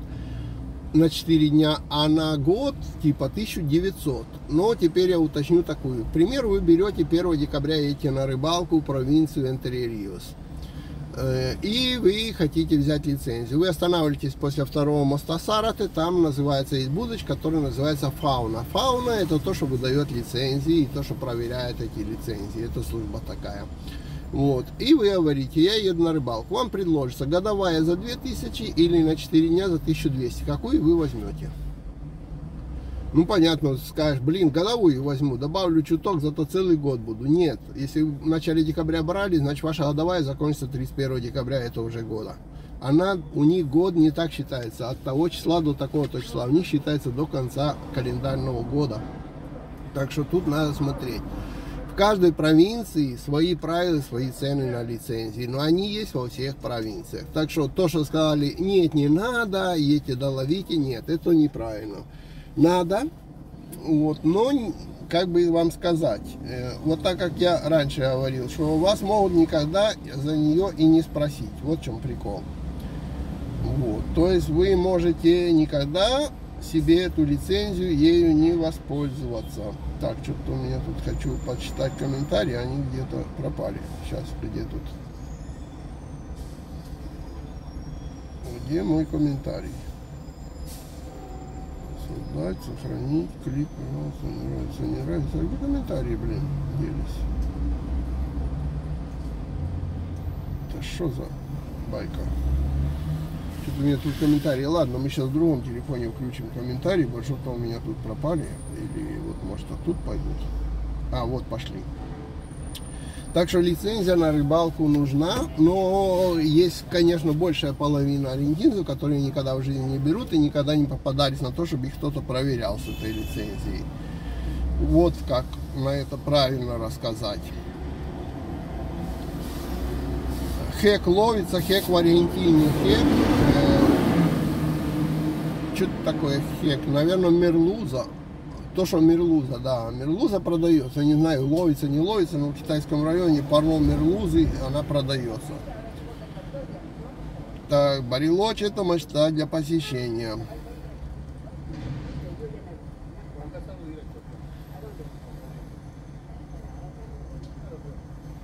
Так. Кстати, как с тротуарами в Буэнос-Айресе? Раздолбанные дороги есть многие ли? Разбитые, раздолбанные тротуары? Ну, как правило, как правило, в Капиталь Федерале я особо не видел раздолбанных. Есть, которые постоянно ремонтируются. У нас тут как, вы знаете, чтобы, ну, как бы дело не стояло.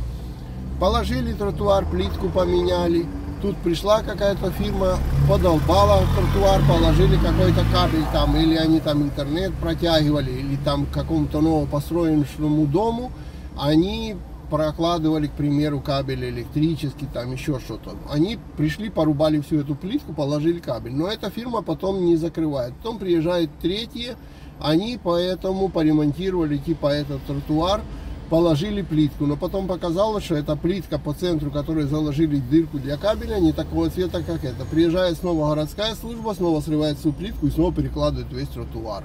И это вот бесконечно. То есть вот ремонты на тротуарах могут происходить бесконечно. Но на тротуарах на всех перекрестках существуют съезды для инвалидных колясок, это обязательно, всякие пешеходные переходики. Как правило, даже где там плитка старая или что, оно ремонтируется постоянно. Это правда. То есть ремонт очень таки частенько у нас с тротуарами делал в том, что. Подскажите, пожалуйста, какое качество домашнего интернета в Аргентине, в Буэнос-Айресе? Можно ли подключить 100 мегабит? Сколько примерно будет стоить такой тариф безлимитный? Да, и можно и 100, можно и 300 подключить, можно и фибру оптику подключить вот оптический интернет и, можно по телефону подключить большой скорость интернета и все это безлимитно. То есть платишь из-за того какую скорость ты выбрал помесячно но он безлимитный. Сколько стоит не знаю. Надо вот смотреть честно скажу даже вот не знаю сколько стоит. Там высчитывают и высчитывают. Вот у меня дома допустим 300 скорость интернета 300 мегабит в секунду. Так что да можно спокойно. Вы на юге отдыхали в Патагонии, Барилоче? Да, давно, правда, очень давно, потому что, ну, далековато и, и давно отдыхали. Ну да, мы были в Патагонии несколько раз, в Барилоче тоже. Барилоче были один раз, а в Патагонии, ну, раз пять я был, наверное. Так. Может ли турист без ВНЖ открыть свой бизнес небольшой? Нет, не может. Э, мне кажется, что практически в любой стране турист не имеет права открывать никакой бизнес, потому что для того, чтобы открывать бизнес, надо регистрироваться на налоговой инспекции, надо иметь э, документ легального проживания в стране, а не турист, и платить налоги. Это так же, как меня спрашивали, ну, если меня будет ПМЖ, потом я открою монотрибуту, а потом у меня начнутся какие-то проблемы, я захочу уехать в Аргенти... ну, из Аргентины, ну, как бы смогу я уехать там без сталкивания с налоговой инспекцией и все такое. Я думаю, что сможешь. Вопрос в том, что, ну, я не видел, чтобы где-то налоговая инспекция на в аэропортах стояла и проверяла, у кого там налоги уплачены, у кого не уплачены. Это раз. Второе, ты не влезешь в дикие, не успеешь влезть в дикие долги с налоговой инспекцией, потому что там 2-3 месяца не поплатишь, тебе уже начнут тревожить, и, ну, как бы, сколько там задолжаешь, чтобы за тобой бегать, я не думаю. Редко было такое, что там не выпускали кого-то там куда-то уезжать при каких-то диких долгах, ну, но то было из тех, которые там чуть ли не миллионеры, и там очень сильные какие-то у них были задолженности, такое какое-то было. Ну, к простым людям это практически не относилось. Но турист, он и есть турист. Не путайте, турист это турист. Ты без визового въехал, потратить свои деньги, походить по ресторанам, поплатить, пожить в отелях дорогих. Вот это туризм называется. Никакого бизнеса, никакой турист вести официальным путем не может. Конечно, все, кто приезжает, они туристы, но они думают, что они получат паспорта, они уже начинают какие-то крутить между собой бизнеса. Но это все нелегально, это между собой. Ну, это понятно. Так они будут там крутить и крутиться, это да. Но легально никто пока не получит никак, хоть какого-нибудь, ну, как бы, официального статуса в стране не сможет. Кроме вот если украинцы приезжают, тут есть своя программа, им сразу дают там виза на три года с правом работы, потому что они считаются, ну, как бы беженцами от войны. Вот, так и эти, да, они могут сразу открывать бизнес и все, что хочешь. Здесь мало так едут, потому что тут никакой другой помощи нет, кроме документов. Вот. А которые приезжают русские, они считаются беженцами от войны, и никаких таких статусов они не получат, потому что они считаются, беженец от армии не является пострадавший от войны. Так что нет. Сколько вы платите за 300, если помните? Нет, не знаю. Вообще высчитывают с карточки, как говорят, когда-то оформлялись. И немножко по скидкам, потому что мой сын старший работает в этой компании, которая связана с этими интернетами. И ему, как работнику, там платит, ну, типа зарплаты немного высчитывают за это дело. Он поставил нам дома этот интернет. Так что я даже честно скажу, не знаю, сколько он там с него высчитывает. Я знаю, что как с работника этой компании, которая дает этот, этот интернет, ну, им дешевле выходит. Ну, я думаю, вам надо зайти на сайт Фабертеля или каких-то таких и посмотреть, там все написано. Или сейчас, если хотите, я даже могу приблизительно сказать. Сейчас, только мне надо набрать, сейчас я наберу сайт Фабертеля и посмотрю, сколько стоит интернет. Так.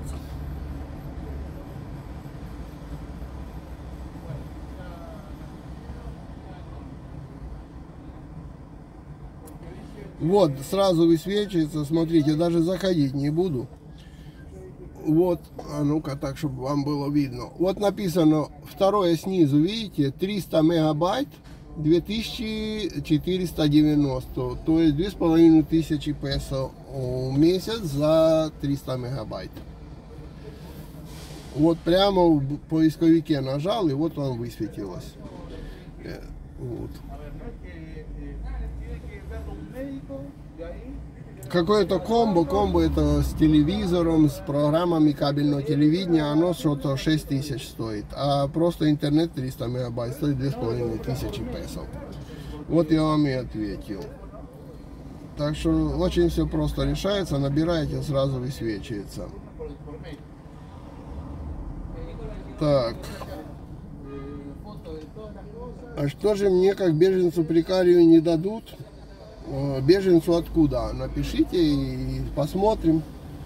Если вы беженец Украины, так вам дадут на три года этот самый, э, как бы визу с, с правом, как вот мы, мы ехали, получали визу на год с правом работы, сразу идти, устраиваться, что-то делать, где-то жить, платить налоги, то есть иди, живи.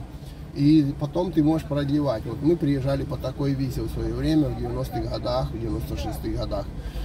Вот, то есть потом раз в году мы продлевали. Сейчас украинцам от войны дают на три года, по-моему. И с правом того, что он, если хочет, это его желание, он может подать на постоянку потом, ну и остаться жить на постоянку, и там на гражданство, и все, в общем, процедура это дальше продолжается. Вот. А если кто-то считает, что он беженец из России, что он убежал от мобилизации, ну официально для страны ты никакой не беженец. Какой ты пень беженец? От чего ты убежал? От мобилизации? Ну, так мало ли кто в армию идти не хочет. Это дело такое. Для Аргентины ты не являешься никаким беженцем.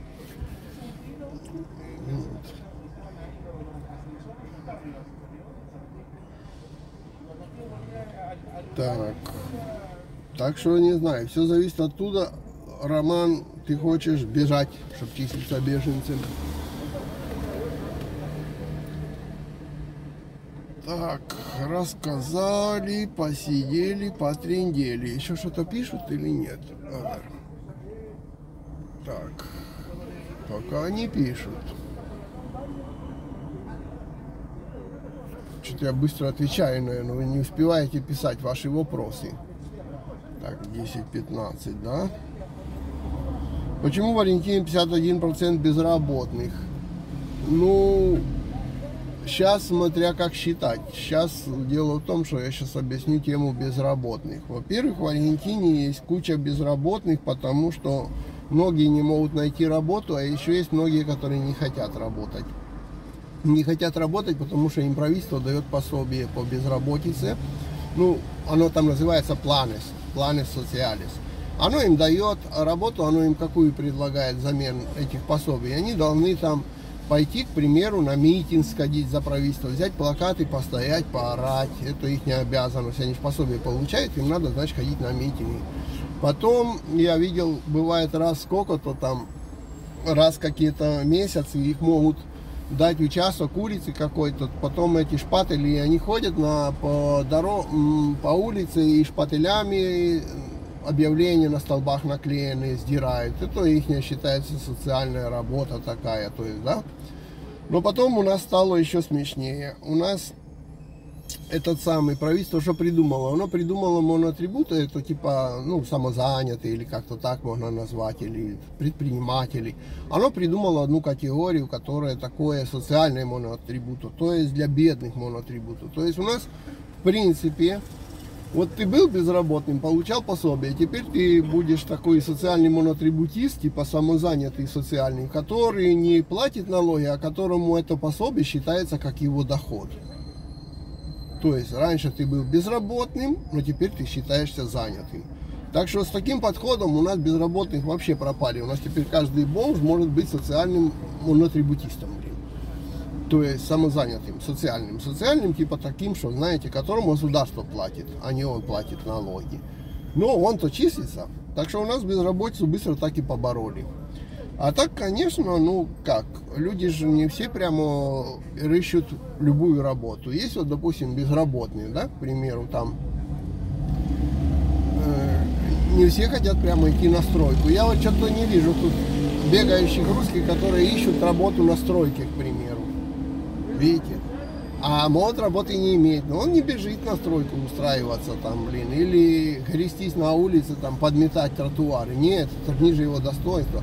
Ну так аргентинцы так же само. Не все же хотят прямо вот конкретно гребтись просто, э, не знаю, на полях картошку сажать. Ну, он не пойдет, он ищет такую, как ему подойдет, как он хочет, как он считает нужным, какую работу найти. Соответственно, бывает такое, что и работа есть, да еще на нее фиг найдешь. А вот много раз у вас бывает просят на улице что-нибудь. Ну, к примеру, подай, подай, жить не на что. А вы подскажите ему, что, к примеру, в таком-то киоске берут, э, ну, типа, на работу. Так он вам скажет, ты что, дурак, блин, что ли, я у тебя деньги просил, а ты мне работу говоришь. Какая нафиг работа? Так что, если такие люди, не всегда же прямо все действительно, блин, схвачу лопату, побежу все делать. Угу. Вот потому и есть такое, что вроде как и безработных до хренища. А с другой стороны, есть области, в которых еще хрен найдешь. Все хотят учиться на кого? На адвоката, на психолога, блин. Мало кто хочет учиться, к примеру, на инженера кораблестроителя.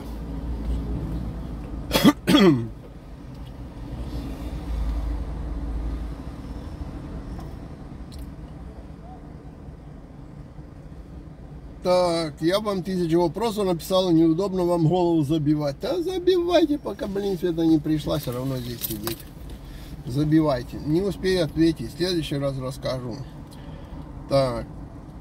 Добрый вечер. Какой сейчас курс песо? Курс песо сейчас скажу. Сейчас открою интернет и тут же поглядим. Доллар ой напишем и будем знать. Так.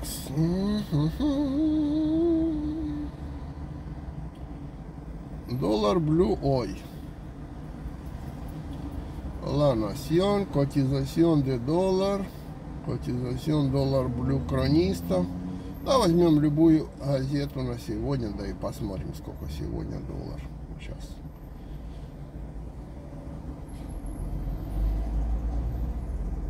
А ну что пишет La? La Nación это наша национальная газета. Так, доллар официальный сегодня. Э, покупая государство доллары по 179, продает государство доллары по 187. Но это если вы работаете в президентском дворце, то это вам такая цена. Если вы простой человек, то, блин, закрыть. Так, то вам сегодня доллар покупают у вас по 355, а продают по 359. Вот. Вот вам доллар на сегодня.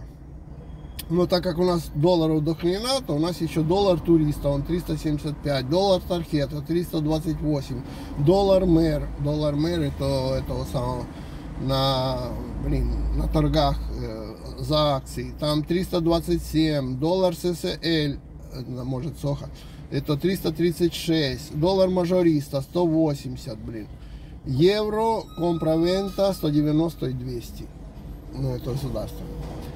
Поняли? Вас устроило, сколько у нас долларов? Вот сколько долларов. Надеюсь, так, чтобы не отсвечивало, вот так видно немножко. Видите, там вот строчки. Это доллар на сегодня. Ну, конечно, кто-то сейчас скажет, вау, какая лафа, они не знают. Я вот, смотрите, доллар официаль 187, буду куплять, а потом доллар блу буду продавать по 355. Какой бизнес, блин, 187 куплю в банке, по 355 продам, блин, в обменнике. Ну-ну. Ну-ну. Это называется да-да. Так и будет. Так, про курс доллара рассказали. Уровень безработицы в Аргентине вырос до 7,1 в третьем квартале 20. Максимальный уровень достигал 20, а минимальный 5,9. Ну, наверное, я на эти вот, которые сказки правительственные даже не читаю. Это, ну, в принципе, ничего не отображает. Это что слушать, блин, это у вас дома президента. Это то же самая хрень. Вот. Нигде не пишут про 51. Не нашла такую инфу. Привет из Крыма. Приезжайте летом в Крым на отдых. Поедем на рыбалку. Светлане, привет. Смотрим вас первых видео. Молодцы. Юрий, спасибо вам за приглашение. Вот остановится все это война. И обязательно над вашим предложением подумаем. Вот. Как дела в сельском хозяйстве в стране? Сельское хозяйство в стране, э, ну, когда правит э, кишнерис, всегда плохо. По одной простой причине, что она очень не любит сельское хозяйство, наша правительница. Она этот самый, э, ну, всегда вот с ними была в контрах, спорах, обложениях налогами, отобрать за поставку сельхозпродуктов за рубеж, отобрать доллары как говорят, государственная казна, ну а вы знаете, государственная казна это карман того, кто сегодня над этой казной правит. Вот, так что пока так. Никто не спешит особо, до продукция дорогая, э, как говорят, нет. Хозяйство последние годы, вот лет 20, оно не развивается, сельское хозяйство.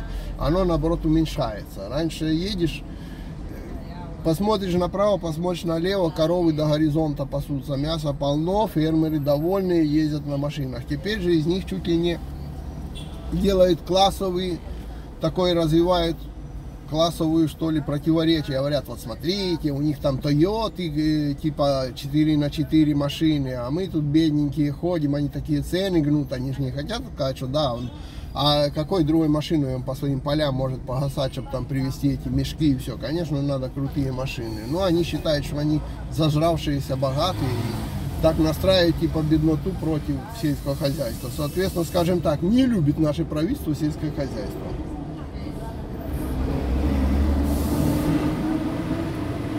Россия близка к победе. Гарик, не смеши меня, честное слово. Это раз, второе, блин, какой нахрен победе? Чужую страну захватить? Ой, не молоти мне, Гарик, лучше не сыпни, как говорят, этот самый. Ура, товарищи, Гарик, э, в бан, шагом марш, раз, два, раз, два, по-армейски так, хорошо? Не хочу даже хуйней себе голову забивать. Так что, Гарик, с победой тебя, только пошел ты вместе со своими победителями. Так. Так, еду на две недели посмотреть Аргентину. Куда посоветуете съездить? Смотрите, если хотите действительно, ну, есть деньги погонять по Аргентине, я бы посоветовал посетить. Само собой, какую-нибудь типа Мардель Плату посоветовал посетить. Посетить бы, посоветовал вам Барилочи. Очень бы советовал посетить такие края, что они запоминающиеся такие.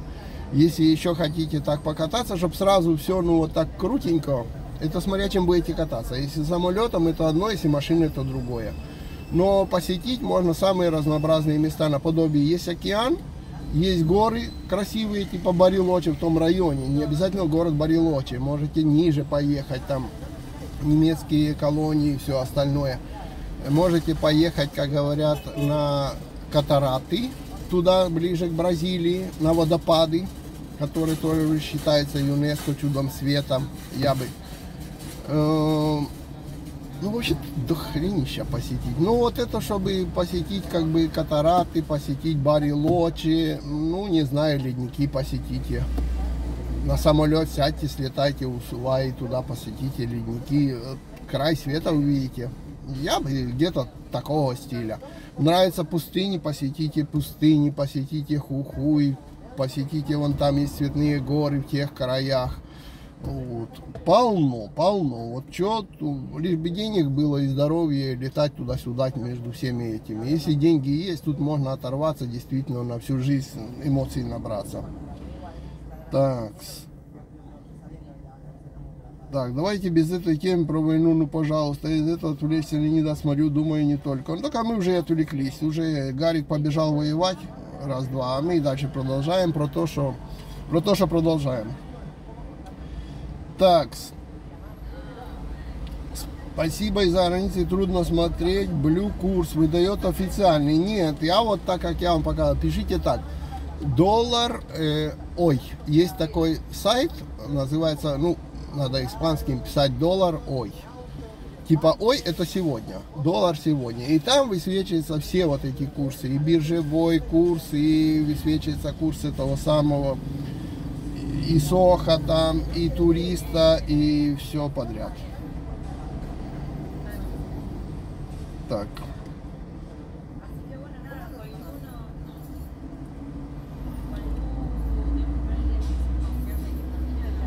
Откуда данные, что сельское хозяйство упадки, откуда инфу берете? Я инфу не беру, я, блин, с людьми разговариваю.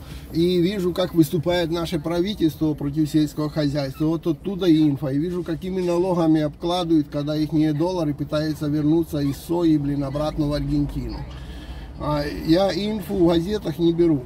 Я здесь живу и смотрю, и общаюсь с людьми, и вижу выступления правительства и все остальное. Вижу, как относятся, допустим, там Э, на Рурале. Рурале это типа выставка достижений народного хозяйства, которая принадлежит, так сказать, ну вот как бы хозяйству народному. И когда там собираются те, которые занимаются крупными сельским хозяйством, поставщики сои, там выставка этих самых э, лучших бычков, там и все такое, все хозяйственное, рураль, на Палермо то как к этим выставкам относится правительство и посещает оно или нет, и какие заявления оно делает. Вот поэтому я и беру. И плюс я езжу по за городом и вижу, сколько сейчас коров пасется и сколько паслось раньше.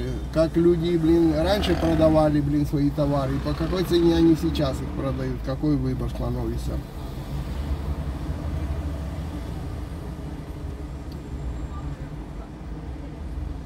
А, о, мне писали, надо ответить. И сейчас пишет. Леонид, добрый день, спасибо за ваше видео. Подскажите, можно ли в окрестностях Марды Платы в океане нырять с маской и трубкой? Нырять можно, но я бы сказал так. Э, смотрите, если просто с пляжа нырять, вы ни черта не увидите, потому что надо заходить очень далеко, прибойная волна вас будет шкалашматить, вы там не наныряетесь. Надо ехать в такие места наподобие, сейчас, чуть-чуть дальше, туда, во-первых, за Мардель-Плату в сторону вниз. Туда вам надо за Мирамар ехать, вот, э, Никочея, вот в таких местах вам надо нырять где-то. Или даже, даже от Мардель-Платы до Мирамара, когда будете ехать, там тоже увидите, там есть такие руины, скалы, где можно, ну, как бы вода о них разбивается, и за ними можно понырять и поохотиться с рыбой. Даже недалеко от Мордыплаты, километров за 25 будет. Там увидите, место будет видно прямо с дороги. А если совсем нырять и совсем так наслаждаться всем вот этим делом, то вам надо ехать ниже, чем Лас-Грутас вот Груты, потом Пуэрто-Мадрин, вот это там для подводного плавания просто рай. Там даже школы подводного плавания, там можно получить международные сертификаты, которые признаются во всем мире о подводнике, о том о всем. Там вы можете плавать, нырять, охотиться, там нет волны, там отливы, приливы, и спокойно в этих заливах очень спокойная вода. Там можете с котиками плавать, с морскими, с чем хотите. Так что ниже морды платы можно, выше морды платы я вообще не знаю таких мест, где можно выше морды платы. А от морды платы, от мира Мара, в принципе, и дальше уже места такие найти можно обязательно. Так, или может на катере можно куда сплавать. На катере можно сплавать куда хотите если это на рыбалку, снимаете катер, платите. Во-первых, катер можно снимать там, бывает на 8, на 12 рыбаков, все складываются в складчину, платят деньги тому, кто везет, и он возит на рыбалку на 4 часа, как правило, с утра и до обеда, потому что дальше ветер больше поднимается, волны становятся больше. Это рыбальские. А именно для плавания, для подводной охоты, для всего, начинайте от Мирамара и ниже тогда да, вы найдете. А если там Пуэрто Мадрин, Лас Грутас, там вообще просто для этого все создано. Даже, даже от Ведьмы. От Ведьмы это просто для этого все создано. Начиная от Ведьмы. Это от Мардель Платы вам получится до Ведьмы. Сейчас я вам даже приблизительно и посчитаю, сколько это получится. Чтобы туда поехать и наслаждаться уже. Ну, думаю, где-то, там думаю, где-то километров 500 получится. Ну или ближайшие такие небольшие участки, это от э, Никочея и около Мирамара. Привет, дядя Леня, привет. Все время искал ответ на вопрос, почему я чувствую Аргентину свободной и такой притягивающей релаксация пивоварова, потому что в Аргентине не испытывают не пытается уничтожать человеческое достоинство. Так в точку. В принципе, да, с этим согласен. Привет, привет, привет, привет. Так, это приветы. В принципе, с этим согласен, что в Аргентине никто не пытается гнобить другого. Э, заметьте, допустим, вот рестораны, да? Я вот вообще не слышал нигде никакой про дресс-код, блин, там, что ой, тут ты, блин, мордой не вышел, тебя, блин, в ресторан не пустят или еще куда-то, вот, или в музей, там какой-то, блин, дресс-код. Такие выдумки вообще. Вот, а в других странах там смотрю фильмы, там, блин, ой, там, блин, ты с кем, ты мордой не вышел, ты не так одет, ты не при таком пиджаке, да, блин, Валентине, ты хоть, не знаю, ну, конечно, если бомж попрется в ресторан, наверное, может его не пустят, чтобы он там, ну, как бы был уже совсем вонял, там, блин, и пятое, десятое. Но и то, не пинка дадут, а дадут что-то, ну, не знаю, бутылку вина там или какой-нибудь бутерброд, скажут, на, чувак, иди там где-то покушай, типа, и все. Думаете, как бомжи, по примеру, здесь попрошайничают еду? Подходит, станет под, под магазином и стоит. Вот просто стоит, даже не обязательно и просит. Они, чтобы он ушел, они ничего не вынесут, дадут. Раз пошел, стал под другим магазином, стоит. Ну, таких миллионы знал бомжей, которые у нас раньше жили. Ну, не миллионы, конечно, при, преувеличение, но у нас было там э, 2-3 таких бомжика на районе. Они постоянно вот там сначала идут под хлебный магазин, станет около дверей, просто тупо стоит. Ну и они не хотят, чтобы он там под дверями стоял. Они ему раз хлебушка там пакетик наложили, дали, он пошел, стал под китайским, блин, супермаркетом, там стоит китайцы, раз там самого дешевого вина вынесли, дали, он раз пошел, еще где-то постоял, там ему бутербродик дали. Все, он насобирал, пошел, сидит где-то в сторонке, кушает себе. Блин. То есть не то, что его там пинками гонят или что, или там часто видел, э, раньше особенности, сейчас уже так как бы их и, и не, ну есть, встречается, но уже так как бы, не знаю, на районе у нас, чтобы там постоянно где-то лежали, уже нету, а раньше были такие лежанки, скажем так. Так вот так смотришь, особенно зимой, и лежит там бомжик в каких-то коробках, идет бабушка там или женщина, блин, с ребенком, матрас несут принесли, и она ребенку показывает, вот надо людям помогать, видите, дай ему матрас. И вот там ребенок, блин, сует ему этот матрас. Он там, блин, все, матрас взял, поблагодарил. Вот, она приучает, что типа людям надо, ну давайте. Тут смотришь, другая идет с этими самыми, блин, несет сетку какой-то еды там, принесла, отдала, все, некоторые сядут с ними поговорить, типа, как тебе плохо, бедненький. То есть народ такой участливый в этом вопросе, пипец, блин. Они только, ну, понятно, напьются некоторые, некоторые орут, некоторые нормальные, но это же как бы, как вино в голову ударит, может быть. Но, с другой стороны, народ здесь вот как бы к другим, по-нормальному, то такой участливый, скажем так. То есть не тоже пшел отсюда, там, иди, там, ты не такой, я вот там крутой, блин. Нет, тут такой хрени нет. Конечно, это не значит, что тут, когда едешь на машине, никто тебя там не подрезает, не ругается, не бибикает друг другу. Конечно, это все есть, блин, особенно водителей. Это все присутствует. Но так, между собой, народ подобрее будет, скажем так.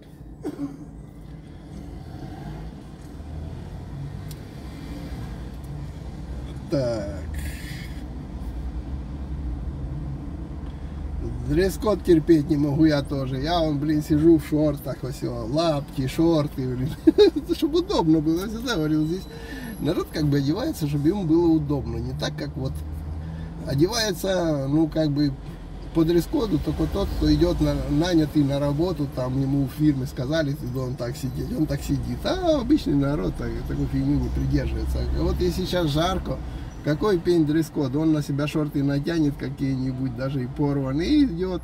Вот туристка тут идет, вы, наверное, не видите, это вообще вот посмотрите, рюкзак спереди, рюкзак сзади на ней нагруженный в шортах, и телефон, и стримит идет тоже по Буэнос-Айресу. Девочка только что проходила, тоже идет с телефоном, так стримит, блин, два рюкзака на ней висит и ходит себе по Буэносу.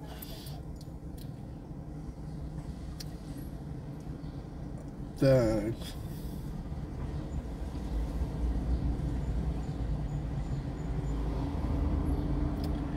Так, бывали ли в Кордове? Как вам Кордова, если вы там бывали? Смотрите, в самом городе Кордова не был, проездом был, объехал по окружной дороге, скажем так. Так что практически про, в середине Кордовы не был. Был провинция Кордова, мне понравилось. Провинция Кордова мне понравилась.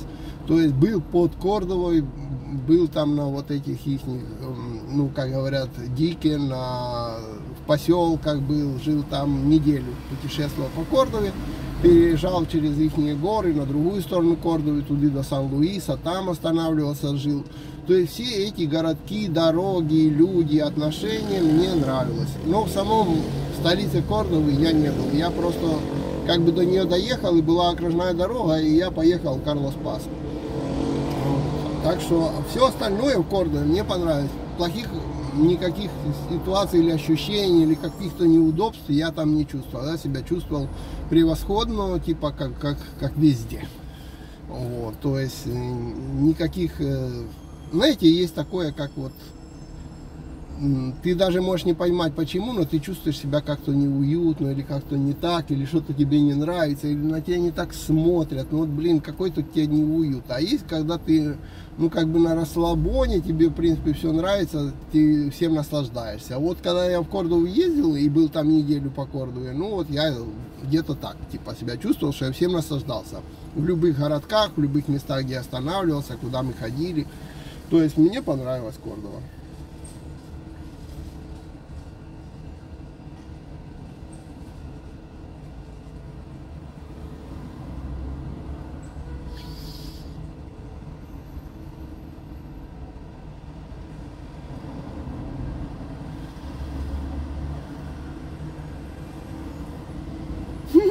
В интернете одной девушки сутки уже не могу выяснить, почему, по ее мнению, розовые волосы в 60 это нелепо. И надо одеваться по возрасту. Почему у людей в голове, ой, вы не видели наших, блин, э, как говорят этих женщин. Им вообще все, по-моему, по барабану, типа, ну, насчет там, как одеваться. Они как хотят, так и одеваются. Хоть 60, хоть 80, блин, одинаково. Тут был дедок, Раньше тут показывали по телеку двух бабушек, они там прям, прямо выросли, конечно, ну скажем так, в этом, в Барилоче, то есть они, э, это их не родные места, но им там показывали, им там 80, они на лыжах с гор пускались, постоянно две подружки мне.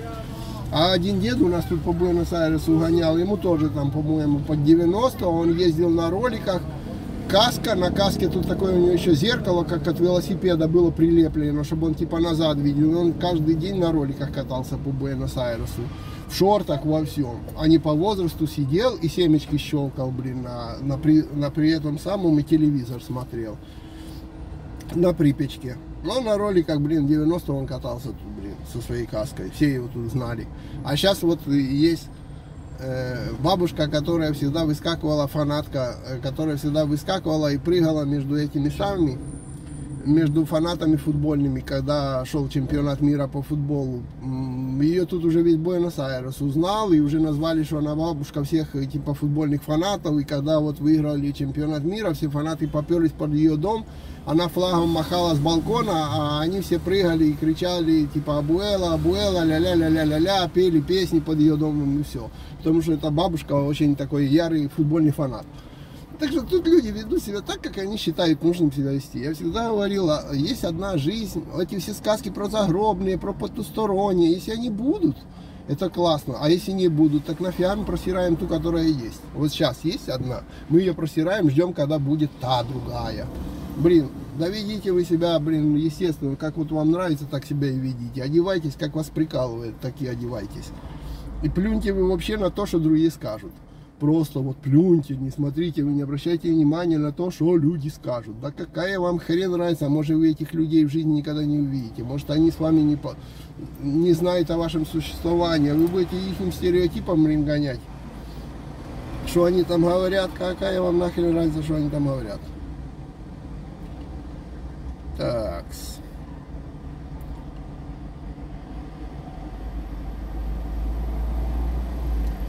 Леонид, человеческое достоинство не попирается со стороны правящих элит. Думаю, эту поправку сделал военный переворот в 76 году. Самые разные страны США и так далее намного не свободнее, чем аргентинцы. Может и так, я не вдавался в такие подробности, откуда это пошло, я просто констатирую то, что здесь происходит. А откуда оно взялось, я так в историю прямо сам не залазил. Так, по поводу языка вы правы. У нас в языковой школе сертификат А2, но на практике аргентинцы говорят быстро и сложно очень понимать. Но хотя бы можем объясниться и понимаем, что отвечают. Ой, и тоже. А дальше вы сами научитесь. Вам не школа надо, вам надо э, с аргентинцами общаться. Они, если что, вам сами подскажут, как правильно сказать. Но с каждым запас с каждым днем. Молодцы, вот приветствую.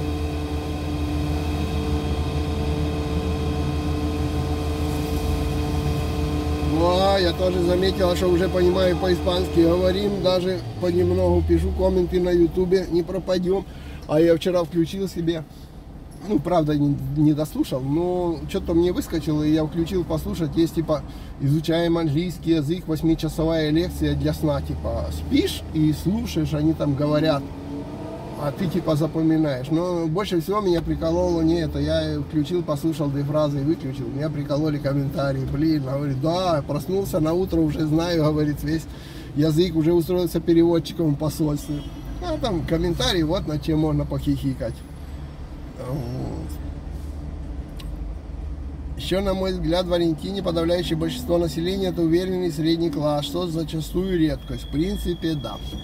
В принципе, да. И хотелось бы, чтобы так, честно говоря, и оставалось. Чтобы все-таки среднего класса, обычных таких предпринимателей, которые держат вот киоски, магазинчики небольшие, которые, ну там, не знаю, швейную мастерскую, парикмахерскую, чтобы вот такого среднего класса он был устойчивый, чтобы не было такой дикой разницы, знаете, несколько богатых и остальные вся беднота.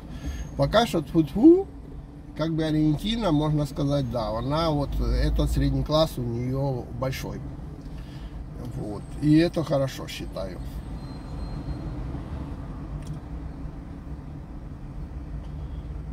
Видела эту фанатку бабушку, про нее песню сочинили еще вроде, ну да, Буэла, ля-ля-ля-ля, что-то такого стиля.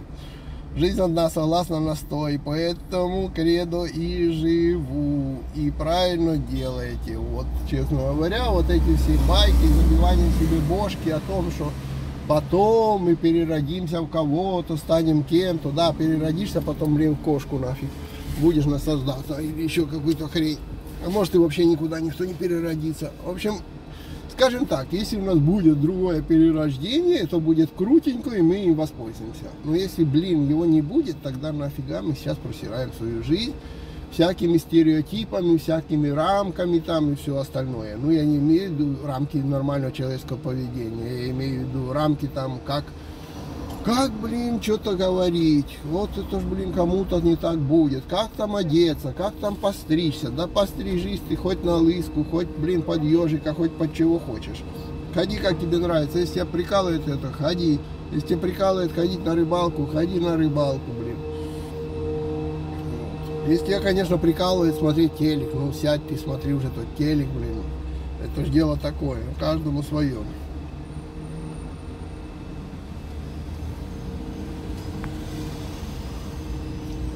Тики-тики-тики. Так, активность. Активность 43 человека. Мало бы, хорошо. Это хорошо, что у нас 43 человека. Интересные сообщения еще есть. Сейчас вот думаю, летом все-таки как-никак надо будет еще воспользоваться. Сегодня все-таки такое, какое у нас? 11 или 12 число, да? Надо еще воспользоваться этим летом и это самое, посетить еще куда-то поездить. Мы уже на океан съездили, я сейчас последние фильмы там добиваюсь океана периодически, не удивляйтесь, что это было раньше. Ну, просто прикалываюсь мы же приехали, и сразу, ну, как бы началось, а, надо там к Рождеству готовиться, надо там к этому самому, к Новому году готовиться. Да и просто расслабон, думаешь, блин, конец года, фильмы эти, наснимал, наснимал, потом помонтирую. Вот теперь сижу, монтирую. Соответственно, оно как бы с одной стороны уже немножко отстало, эти фильмы, а с другой стороны, да все равно же уже сняли, покажем, как мы отдыхали, как мы были в кемпинге, какой там океан. Вот сейчас, в этот месяц, я бы, конечно, на океан не хочу. То есть какую-то поездку одного дня, да, но именно на океан нет. Там настолько все забито. А вот уже в феврале уже можно снова начинать э, как бы наслаждаться тем, что будет довольно, ну, намного меньше уже народу будет на океане, в кемпингах и во всем таком. Так что снова будет время для путешествий.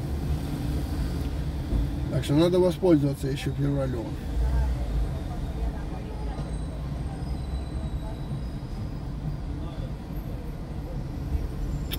Так, искала в интернете и не могла найти. Знаете ли вы какие-то христианские организации? Не православные. Ой, блин, я вообще в этом не сильно понимаю. Я и православных, блин, не понимаю. Я знаю только, что тут есть какая-то церковь на Лесаме.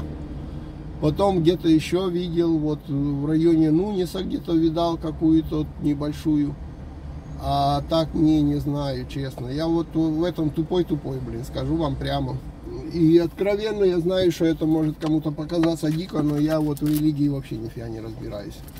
Вот, и как-то меня пока туда не затягивает. Может, когда мне будет лет 100, 150, тогда я, может, уже буду смотреть там что-то другое, но пока я как бы этот, не знаю, ни организации, не хожу ни во всякие эти клубы, ни в шоу. Так что тут я помочь просто чисто не смогу. Если бы знал, подсказал бы, честное слово, но не разбираюсь в этом. Ой. А не православные еще, а может это, а может мусульманскую, так и есть э, центр мусульманской культуры и вообще всего такого, к примеру, есть э, на Палермо, около Джумбо Иси, большущий, большущий центр исламика, исламский центр. Если вам та культура надо не православная, то там поспрашивайте. Есть и еврейские какие-то центры культуры, в которых они там собираются и все, то есть в китайском районе, э, между китайским районом и большим, это самое, ну буквально один квартал от супермаркета в китайском районе. Там, если поспрашиваете, то там есть такие культурные большие центры. Э,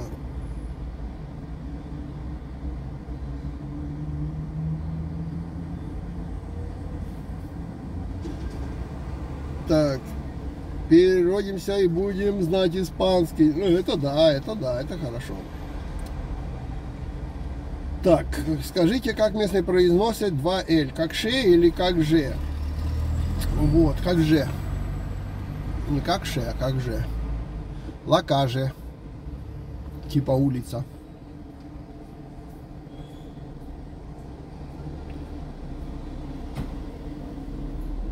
Езжайте на юг пингвинов, посмотрите, интересно, какая там рыба ловится. Я был там, я пингвинов смотрел, есть у меня ролики. Был я на юге, был я в пингвиновом раю, вот, Элисула Вальдес, там и все вот это дело. Так что я там был. Рыба как таковая ловится, но надо подальше, как говорят, закидывать и ничего супер-пупер. Или надо выезжать на кораблику из залива, из бои, надо выезжать на кораблику за остров. Тогда там уже акулы. В основном, кто желает там половить в тех краях, надо рассчитывать на акул. То есть хотите большие акулы половить, хотите большие корвины, но, как правило, как правило, редко, когда это с берега. Надо или с берега надо уехать в сторону, знаете, вот, допустим, вы едете, Баия Сан-Блас есть такая штука, Баия Сан-Блас. Там здоровые корвины и там здоровые акулы. Но если вы просто приедете в городок, который называется Баия Сан-Блас, вы прямо с берега будете ловить, в принципе, то, что будете ловить и в Мардельплате. Ничего супер-пупер вы там такого не наловите. Изредка, за исключением кого-то. В основной своей массе, чтобы ловить действительно хороших корвин здоровенных и хороших акул, вам надо взять в аренду там или кого-то нанять, или взять в аренду квадроцикл и по пляжу свалить за город. И вот там есть места, которые местные вам могут рассказать, где вы действительно будете закидывать на акулу. Вот это рыбалка. И пингвинов там ниже полно, везде этих пингвинов. Хотя пингвинов можно изредка увидеть и ближе, не обязательно аж прямо на юг ехать. И в Кларамеко бывает пингвин может попасться вам около Баи Бланки. Ну, они же то совсем уж там этих пингвинов просто немерено. Ну, я там был просто. Безопасно ли путешествовать на машине по стране? Смотрите, мне нравится путешествовать на машине по стране. В принципе, это безопасно. Ну, есть э, райончики, куда я бы не советовал туда поехать и заночевать в тех райончиках. Но, в принципе, в общей своей, как бы, этом, да, безопасно путешествовать на машине по стране. Все путешествуют. Даже есть люди, которые по стране путешествуют на великах, есть люди, которые путешествуют на перекладных, даже девушки. Я встречал девушек, которые просто берут рюкзачок и останавливают грузовики и путешествуют, и приезжают в Барилочек, к примеру. Хотя она девушка и с. Так что, в принципе, да. На мотоциклах, на велосипедах, э, на перекладных. В разумных пределах, если вы видите что-то, где вам не нравится, ну, проедьте это место. Но, в принципе, да, это безопасно. В любом городке вы можете найти кампинг, отель или какую-то кабаню, домик, где можно снять. В самом крайнем случае рекомендую заезжаете на большую заправку ИПФ, типа вот, и, как правило, там всегда есть туалет, где покушать, где заправиться, где обслужить машину, если у вас лампочка погорела, купить лампочку и все такое. И стоянка для машин там есть. И они всегда круглосуточные, очень большие, они охраняемые, с камерами. Заезжаете, становитесь на стоянку около магазинчика на ИПФ, около кафешки и спите. Я очень часто так делаю. Если я еду в дальнюю дорогу, еду сам, и еду уже, к примеру, там, ну, не знаю, вот я ехал в Груты. Выехал в 6 вечера, э, в 6 утра меня очень сильно разморил, я хотел спать уже, потому что это уже было где-то 1300 километров я проехал. Э, я заезжаю на заправку, на заправке сходил в туалет, сходил, как говорят, помыл руки, умылся, э, разложил кресло вот в машине, лег и сплю. Никто тебя там не тронет, там заправщики, другие водители, все, ты спишь и спишь. Поспал, проснулся, сходил в туалет, купил там кофе, попил и едешь дальше, все. Я так делаю очень-очень часто в таких поездках. То есть я останавливаюсь просто на заправках. В прошлом году мы также ездили ловить рыбу в Топ... не, не, Топольке, в этот Тандиль. Тандиль я приехал раньше, чем мои друзья. Мы собирались встретиться около 6 утра в Тандиле. Я приехал туда где-то полтретьего. Я беру на карте, ищу ближайшие ИПФы. Выставляюсь туда, заезжаю, пошел. Лег спать там на ИПФ. Оказалось, что на ИПФ работают мои подписчики. Они с радостью меня в 6 утра разбудили. Мы поехали дальше ловить рыбу. Они поехали вместе со мной, сменились ночные работники. Вот. Так что вот вам один из совет. Если вы не знаете где, если вы не знаете, где вы переночуете, заезжайте на большие ИПФ и ночуете прямо там. В один раз мы ехали так машиной на катараты, на водопады, и тоже так ночевали на ИПФ. И еще рядом с ИПФ мы просто даже маленькую палатку установили. Доставили палатку, тут же прямо вот территория ИПФ, и маленькая там такой участок земли был. Там же установили маленькую палатку, достали один надувной матрас, надули, поспали, утром сдули, умылись, сели, поехали. Так что путешествуйте по Аргентине свободно. Никто вас тут не будет подрезать, ловить, там в пустынях, блин, стрелять по вам с автоматов. Тут дурных людей до такой степени нет. Это все сказки и фильмы голливудские.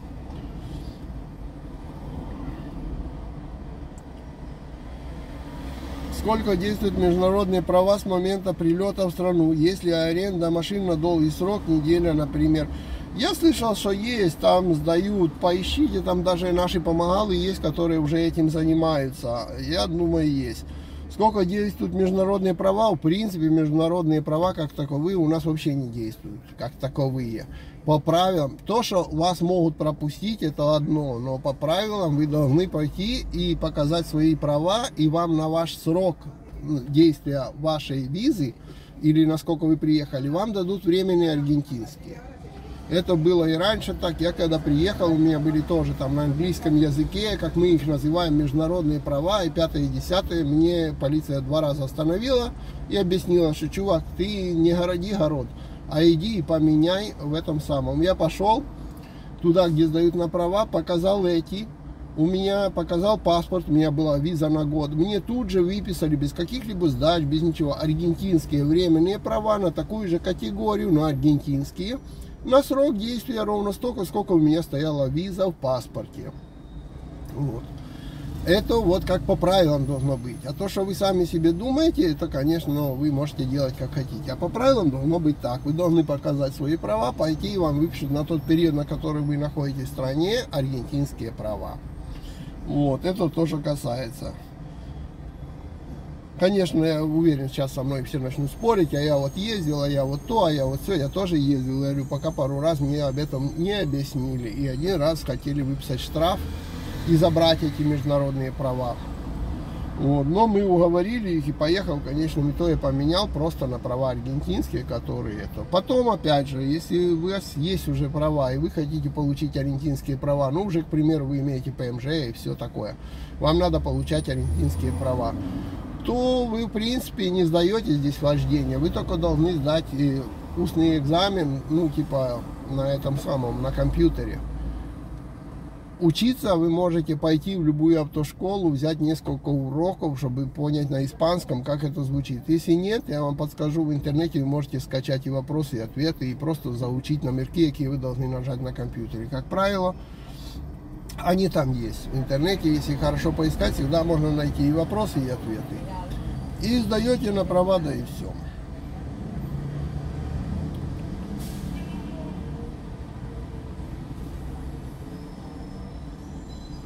Я такой параноик, что ни разу не ездил автостопом и не хочется. А, блин, сколько приключений пропустили. Шучу. Но я тоже не считаю, что самое классное автостопом девушки кататься, блин, на грузовиках по Аргентине. Я не считаю, я просто говорю, что такую встречал. У Барилочи она говорила, что должна была ехать с подругой, но потом подруге что-то случилось, и она не поехала, и она сама приехала. Я еще палатку помогал устанавливать в Барилочи. Ну, потому что она, ну, девушка не знает, как правильно установить. Но она с рюкзаком автостопом добралась. Так что то, что я таких встречал, да, встречал. А вот то, что это, конечно... Оля, Амиго, Оля, Густаво. Леонид, какую сумму обходится ваша машина в месяц? Год, налог, страховка, обслуживание. Слушайте, сегодня, сегодня, я сейчас не буду рассусоливать эту тему, сегодня выставлю именно вот эту тему, вот как приеду домой, уже загруженная, только надо фотку поставить и все. Я уже отвечал на этот вопрос в одном стриме, более подробно, все рассказывал, сколько стоит содержать машину Буэнос-Айресе, во всем. И это уже снято, это уже загружено на YouTube, просто надо приехать, поставить фоточку и включить. Так что сегодня же вы увидите ответ. Ясно, где получают местные права. Видимо, в ГАИ нет у нас никакого ГАИ. У нас есть, э, скажем так, у муниципали... при муниципалитетах районных есть отделы, где выдают права. Так как у нас права выдаются на по-нормальному на 5 лет, по-нормальному у нас вот права не выдаются, что ты пошел и получил сразу права на 100 лет до смерти. И ты ездишь уже такой весь калеченный, а ты все катаешься. Нет. У нас права выдаются, по-моему, до 6-10 выдаются на 5 лет. Каждые 5 лет ты должен права продлевать. Что значит продлевать? Ты в интернете смотришь два или один ролик по тому, какие за 5 лет произошли изменения в правилах. И отвечаешь на вопросики, мультичойс или как это называется, типа там вопросик после видео будет и ответик, что типа как ты выбрал. Если ты все правильно поотвечал, э, тебе сертификат такой трук выскакивает, и ты его напечатал на принтере или просто сфотографировал, и все, у тебя одно дело есть для продления прав. То есть ты должен прослушать лекции. Если ты не знаешь, как интернетом пользоваться, ты можешь пойти в муниципалитет, записаться, там проводят такие же лекции, только уже стоит чувак и рассказывает. То есть ты должен просто посидеть, блин, там на такой лекции, и за то, что ты пришел, тебе тоже дадут сертификат. В основном это связано с тем, что за 5 лет какие-то правила бывают меняются. Там правила стоянки в Буэнос-Айресе, еще что-нибудь. Соответственно, такую лекцию раз в 5 лет должен прослушать. Потом ты записываешься на время, когда то есть до трех месяцев, по-моему, ты можешь с просроченными правами ездить, а потом уже нет и ты записываешься э, на, пере, на подтверждение твоих прав, на пересдачу. Что это значит? Ты берешь вот эту бумажку, ты еще печатаешь бумажку, что у тебя нету штрафов, или что они у тебя были, но ты их все уплатил, соответственно, у тебя больше их нету. Вот, тоже не забываем об этом. И идешь в муниципалитет на то время, когда ты записался на продление прав. То есть ты в интернете выбираешь время себе или идешь прямо в муниципалитете к женщине и говоришь, я хочу сдать на права, она говорит, выбирай на какое число хочешь и говорит, какое время там еще есть, потому что все берут по интернету. Соответственно, ты записался на определенное число, на определенное время. Приходишь туда с двумя бумажками. Одна бумажка о том, что ты лекцию прослушал, одна бумажка о том, что у тебя штрафов нет. И у тебя медкомиссия. То есть там с тебя снимут пальчики, тебя сфотографируют второй раз. И ты проходишь 5 врачей, там типа общего, там что там, психиатра, наверное, еще там глазник, уши, и, ну, и как заключительный там, который общий врач. И все. И ты вот просто с кабинета в кабинет, тебя так номерки высвечиваются на компьютере, ну, если на телевизоре ты смотришь, а такой-то, такой-то кабинет, и раз зашел, там две минуты, такой-то, такой-то кабинет, раз зашел. Когда ты все это прошел, то есть это займет тебя минут 15-20. Ты выходишь, и твои новые права уже будут напечатаны, и тебе выдается на выходе твои новые права с твоей новой фотографией, с твоим новым отпечатком пальцем, и снова на 5 лет. Так идет до 60. После 60 там по 4 года. Вот. Потом по 3, потом по 2, и там какие-то, если тебе лет по 90, то ты будешь каждый год проходить вот это дело. Потому что здоровье ваше меняется, э, разум меняется и правила меняются. Так что нет у нас таких прав, которые тебе аргентинские дали, и ты всю жизнь там где-то катаешься. Нет, таких прав не существует. Плюс, опять же, если ты психопат, ты пришел и тебе говорят, нарисуй такие-то рисуночки, тебе говорит, вот такие линии, а ты кричишь, я не хочу, херню вы какую-то мне горойте. Ну вот она возьмет тебя, забракирует, скажет, ты психопат, придешь через год. И типа выдаст тебе права на год. То есть любой врач, я имею в виду, тебе может обрезать э, твои права до любого срока. Или совсем зарубить, или обрезать и через год. Три месяца ты можешь ездить без, ну как, непродлен, на непродленных правах. Это дается для того, чтобы кто-то в путешествии каком-то, еще где-то находится, потом приедет и пройдет свои права. Вот. Еще есть такое, что если ты в течение года, если ты в течение года не продлевал, то есть твои закончились, прошел год, а ты их не продлил, ты должен будешь сдавать по-новому экзамен и вождение, и, блин, теорию. То есть ты год не ходил, это не значит, что ты придешь через год, а тебе продлят права. Нет, тебе не продлят. Пойдешь второй раз на экзамены. За то, что ты такой хороший. Вот когда был ковид, продлили всем автоматом и принесли по почте. Я, к примеру, нынешние права получил, мне просто написал, там было такое декларацион Хурада, что ты типа клянешься, что у тебя там со здоровьем всем остальным все так и есть, ты типа не изменилось ничего ты там на сайте это все понаписывал, понаписывал, и тебе почта принесла права на следующий срок. Мне так вот принесли права на следующий срок. На это. Сейчас уже, кстати, мне, по-моему, в этом году надо будет там сейчас взглянуть, чтобы не забыть. Когда мне продлевать права-то надо. Вот сейчас я, блин, не забуду. Так что вы поняли, как с правами, да? Никаких вот этих прав, которые там, вау, блин, я буду ездить всю жизнь, у меня права на всю жизнь. Нету в Аргентине таких прав. Это все байки. Не, у меня до мая 24 -го года. Сейчас 23 так что вот, нормально. Вот с 22 по 24 мне прислали на два года продление автоматом, которое произошло. Принесла почта на дом. Конвертики мои права. Вот, ребятки, видите, так что вот я вам про права. А про содержание машины, сколько чего, как обходится, сегодня же выставлю видео.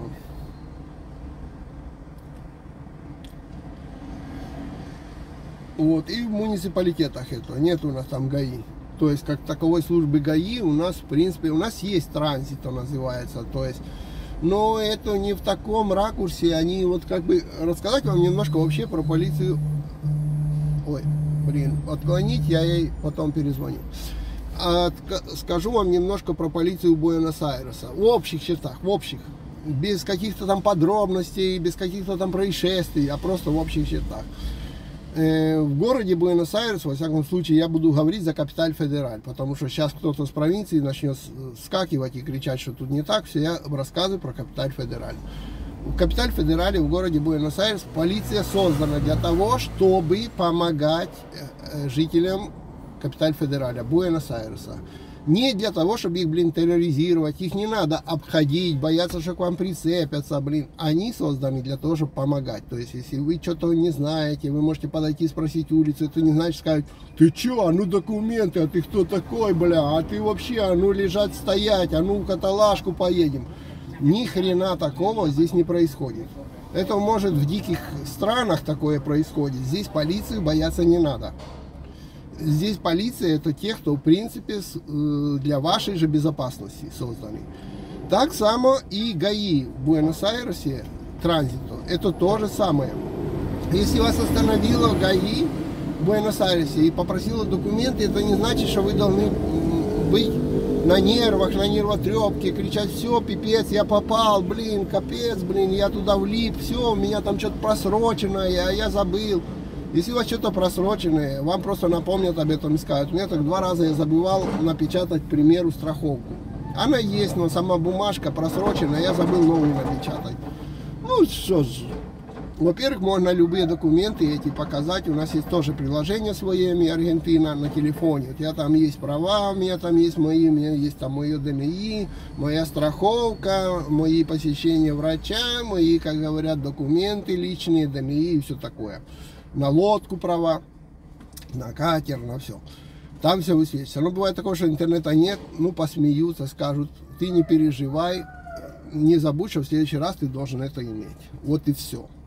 То есть, если вы будете по-человечески относиться к полиции, полиция к вам будет относиться по-человечески. Тут не надо ни от кого гонять, бегать, думать, что ты, теперь ты попал, что теперь тебя поймали, что теперь ты, блин, капец.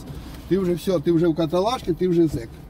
Это, блин, не банановые страны, это нормальная цивилизованная страна. Так что нормально относитесь, к вам тоже будут нормально относиться. Так что если даже что-то там просроченное, где-то ты забыл, случайно ты не напечатал, все это фиговина все это фиговина, вам, вам подскажут, что да, ну, блин, чувак, надо так, ну у тебя нет, ну ладно, ты же не забудь в следующий раз, чтобы оно у тебя было.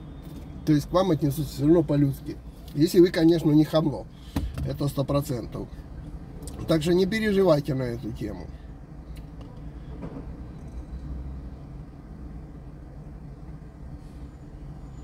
Так, Лучик помогала мне обращаться, три шкуры спустя. Сам искал через Google, нашел прокат хозяина Аргентина, пошел на встречу, решил оставить депозит наличными. Ну вот. Ну, помогал тоже можно понять, ребята. У них нет другого выхода, кроме как на вас наживаться. Они такие же, как и вы, только приехавшие немножко раньше. Соответственно, если он уже хоть куда-то сходил и знает туда дорогу, он уже за деньги эту дорогу будет продавать тому, кто приехал за три дня позже. Он уже думает, что он, ну, все знает. А он не знает ни языка, не знает, где ему заработать по-другому, а жить надо как-то. Вот тут замкнутый круг. Потом тот станет помогалом, надо же отбить бабки, которые с него сняли, и он кому-то так передаст эти знания. В конечном итоге все за деньги научатся ходить до госпиталя, от госпиталя, там, блин, к полицейскому участку, взять сертификат до домицилию. Ну, ну, а есть некоторые, которые упертые, говорят, я сам найду. Это другой вопрос. Ну, кстати, упертые выживают быстрее. Водичку попиваю. Жарко все-таки на улице. Так.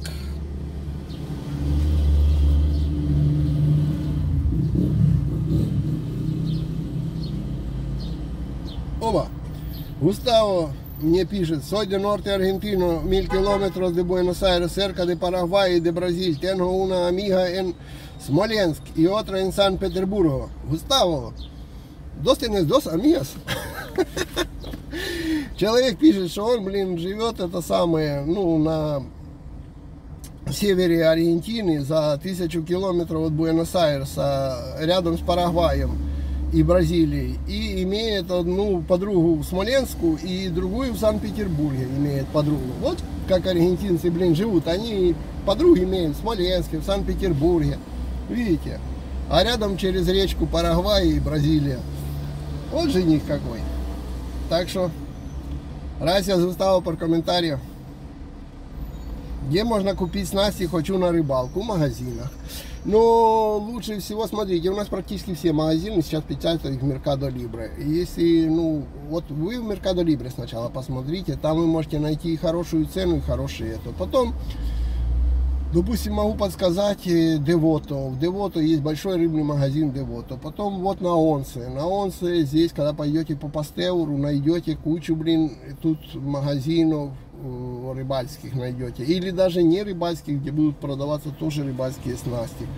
Практически в каждом районе, если порыться, можно найти тоже рыболовный магазин. Правда, мало. К примеру, у нас на Бельграну я знаю один рыболовный магазин. Было три, два закрылось, остался один.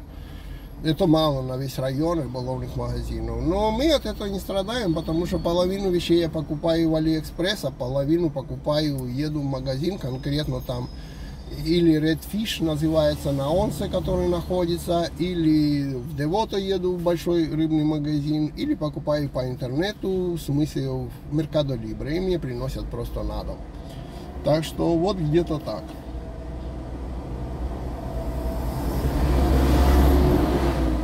О, Наталья пишет, вот без проблем, поняла, в чем пишет Густаво. Красота, видите, вот все-таки как хорошо еще.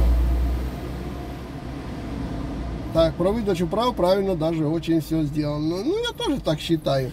Потому что вот есть у меня еще, прикиньте, э, права, полученные в Советском Союзе. Я еще, блин, студентом был, получил права. Они как бы считаются международные. Можете поверить, я до сих пор могу по ним ездить, к примеру, там в Украине. Не знаю, как в России, я там не, не понимаю, как в России, но, по, но еще могу ездить в Украине. Но если так реально посчитать, это же неправильно. Здоровье, блин, за годы может измениться, ваше зрение может упасть. Я знаю, блин, водил, которые нафиг не, не видят глазами, уже куда едут, они уже этих машин не видят. Но они все еще говорят, у меня же права есть на всю жизнь. Нет, на всю жизнь это, это на всю жизнь. Но реально надо все-таки есть, это безопасность, и не только твоя, это безопасность пешеходов, других машин и всего. Если у тебя уже мозги не соображают, тебе уже надо ездить на пассажирском сидении, а не кичеваться о том, что у тебя есть права. Ну что же у тебя есть права? Потому здесь сделано так. С определенным возрастом после 60 меньше и меньше годов и надо чаще и чаще продлеваться. Но нет ограничения, что если ты проходишь эту медкомиссию, ты можешь в 100 лет ездить. То есть тут нет, вот все, в 90 ты уже ездить не можешь. Проходишь медкомиссию, еще год ездишь. Проходишь медкомиссию, еще год ездишь. Я видел бабушку на рынке. Вот, она на рынке накупили, они там, мы были на рынке на центральном, который, ну, продукты там, овощи, фрукты. И вот бабушка, куча машин, и ей надо выехать со стоянки, где она зажата другими машинами. И вот у нее не хватало сил, то есть все есть, а вот сил не хватало руль повернуть. И внучка рядом сидела, и внучка ей руль поворачивала, чтобы она, ну, вырулила с этой, блин. А дальше она жмет и поехала. Один раз тоже, еще когда до Месилия ходил, типа вот на дом компьютера ремонтировать, одна женщина позвала, чтобы я ей компьютер поремонтировал. Я пришел, она задержалась, все, и такая запыханная забегает, смотрю, ей лет 90. Она, ой, извини, говорит, опоздала, я и так гнала, как могла, говорит, я с платы только что на машине за рулем отвернулась, блин. Смотрю, блин, 90 лет, блин, такая божья дуванчик, она гнала 150 с платы по, по трассе, блин, фигачила. Чуть-чуть опоздала, бо у нее и тут квартира, и там квартира, и она вот туда-сюда мотается. То есть, если ты здоровый человек, и это врачам подтвердил, докатайся ты хоть до 120. Ну, а если нет, то все, хана. Так, Густаво уже цветочки посылает. Он уже хочет, чтобы у него еще одна девушка была, блин, Наталья. Он уже розочки шлет. Вот хитрый чувак. Так.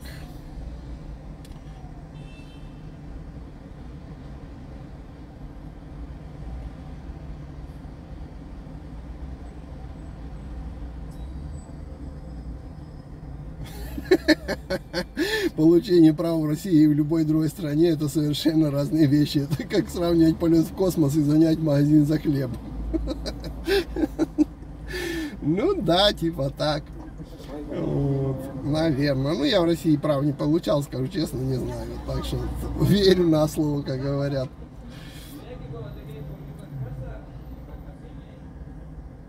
Так, вы уже упоминали про налог с Али. Э, напомните, это 30% составляет. Нет, с Алиэкспресс это по-другому сейчас считается. И недавно снова увеличили. И как бы даже нигде не писали, ни одна газета не написала. Просто ты раз тебя поставили под фактом, что надо еще заплатить и все, когда приходишь за посылкой. Значит, э, тут так происходит. Э, по правилам последним было такое, что если ваша посылка стоит до 50 долларов, это вместе с доставкой. То есть цена за товар и доставка в Аргентину. Есть же разные доставки. Есть доставка дорогая чего-то, есть доставка там, не знаю, 1 доллар. К примеру, вы купили что-то за 35 долларов. И доставка 1 доллар, 36. И пошло оно в Аргентину. Во-первых, это будет долго, это 100%. Тут уже я рассказывал миллион раз. Во-вторых, какой налог вы будете платить? Вы будете оформлять на сайте, что вам пришла посылка. Тут у нас как делается? На сайте Почты Аргентины есть специальный отдел типа интернациональных посылок, где вы должны быть зарегистрироваться.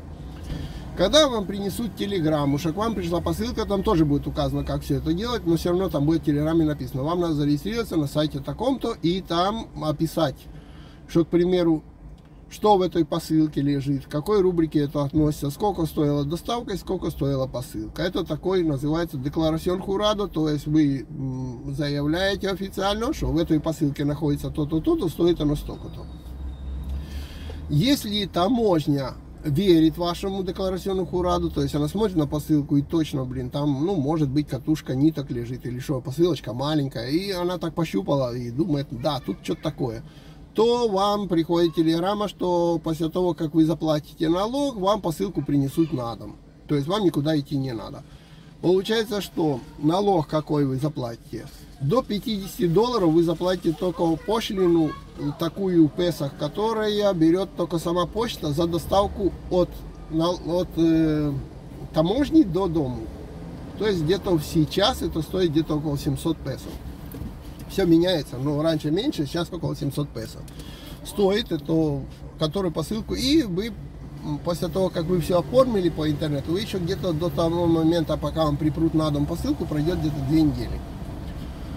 Это первый вариант посылки. Второй вариант посылки, это если вам будет написано такая же самая цена, все, но вам будет написано, что вы должны сами прийти на таможню и забрать эту посылку. Почему это? Потому что таможенник посмотрел, и его что-то не устраивает. Он как бы считает, что там может быть не то, что вы написали, и он хочет скрыть ее при вас. Тут есть два варианта. Или вы выбираете число, когда вы туда пойдете, и время, и идете на таможню вскрывать посылку, чтобы таможник при вас. Или вы, это бесплатная услуга, доверяете почте, работнику почты. Там есть такое отметить, доверяю работнику почты, чтобы он меня представлял. Это бесплатно. То есть вы не идете туда, работник почты с таможенником вскроет, посмотрит, если все правильно, вам принесут на дом эту посылку. Если что-то неправильно, вам придет извещение, что вы набрехали. Там были не знаю, запрещенные вещества, а вы сказали, что там рыболовная катушка. Это первое. Но во всех случаях здесь 700 песо. Доставка просто до этого. Теперь второй вариант. Вы купили что-то, берем за 1000 песо. Прикидывайте, 1000 песо вы потратили. Вот здесь совсем другая история. Все, что выше 50 долларов, цена, которая превышает 50 долларов, должна поделиться напополам, и это ваш налог. То есть, примеру, вы купили за тысячу. Разница какая между 50 и 1000? 950 долларов. 950 долларов делите пополам, вот эти доллары вы должны заплатить налог государству. Прикольно, да? Конечно, не по блу песу, по государственному песу, чуть-чуть дешевле, но все равно до хренища. То есть вы купили что-то и половину практически цены вы еще должны отдать налог государству. Плюс, плюс, 700 песо за доставку вам домой, как я и рассказывал, это почтовый налог, плюс, плюс, теперь они втихаря добавили еще 21%, э, они назвали это derecho de exportación, de importación, то есть право на импорт, 21% от общей стоимости. И я еще не удивлюсь, если вам еще добавят в общую стоимость стоимость, а потом еще налог добавят до общей стоимости, а потом оттуда возьмут 21%. Соответственно, у вас выйдет офигенная цена. Офигенная. То есть я не знаю, сколько вам выйдет дрон, если вы захотите купить дрон. Если вы захотите купить какую-то дешевую удочку за 10 долларов, она, да, подождать, время долго, но она придет и более-менее дешево все будет. А если вы купите что-то серьезное, то вы раскошелитесь так, что скажете, да нахрен оно надо, я где-то здесь его куплю, не буду ждать 3 месяца, не буду головной боли иметь, а куплю где-то здесь другое что-то и все.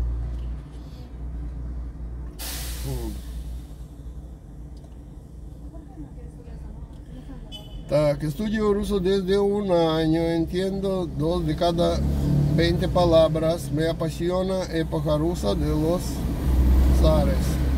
Отлично. Густаво учит язык, так что его это все нравится. Отсутствие ударений над некоторыми словами считается орфографической ошибкой в Аргентине. Также, не, ну как, если вы в школе пишете диктант, то да, орфографическая ошибка. Если вы в обычном общении, никто на это вообще внимания не будет обращать.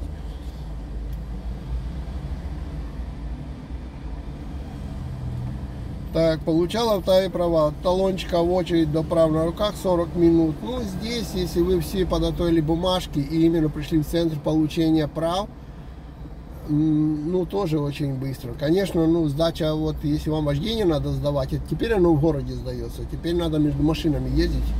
и сдавать в городе. Раньше на полигоне сдавалось, на закрытом автодроме. Теперь в городе. Ну, а именно там, ну, тоже, уже когда вы... Медкомиссия, я же говорю, ну, ну, наверное, не в 40 минут, наверное, больше все выглядит. Ну, часик вы потратите у нас, а то и полтора. В России продевала две недели трэш нескончаемый. Нет, продление, ну, минут 15. То есть, вот, вы вот эти два условия выполнили, справочки эти по интернету, и потом записываетесь, выбираетесь в муниципалитет. И это не обязательно. Вот если я живу в Бельграну, это не обязательно, что я должен права продлевать в Бельграну. Если мне подходит срок и в Бельграну или мне куда-то ехать, я смотрю по интернету, и там нету свободных часов в тот день, когда я хочу продлить, я выбираю любой муниципалитет города, и где есть эти свободные часы в это время, и могу поехать в любое место, типа на Палермо, там, на Чикариту, еще куда-нибудь, и продлить там. То есть это совсем не то, что ты только в этом центре можешь продлить, в любом.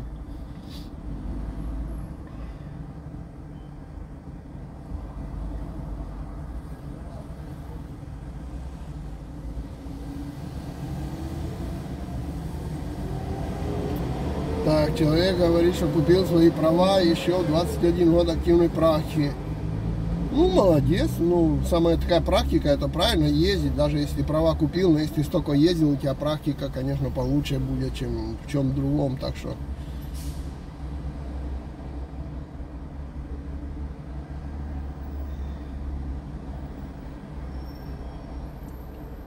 Так, как в Аргентине с автодомами? Развито ли такое проживание с путешествиями?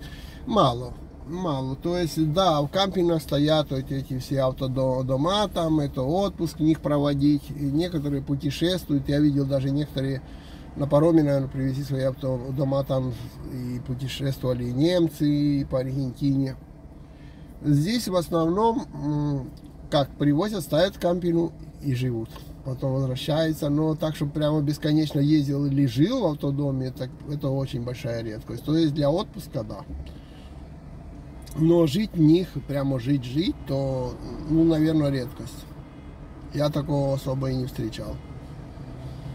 Трейлер всегда хотелось купить, но смотрел, что он стоит как квартира в Питере. Да не, блин, трейлер стоит, ну, нормально стоит трейлер, что-то как квартира нормально он стоит. Если трейлер такой, ну, как бы, который ты прицепляешь к легковушке и тянешь за собой в кемпинг, ну, нормально он стоит. Сейчас глянем, сколько стоит трейлер, чтобы вы мне не этот самый, сейчас.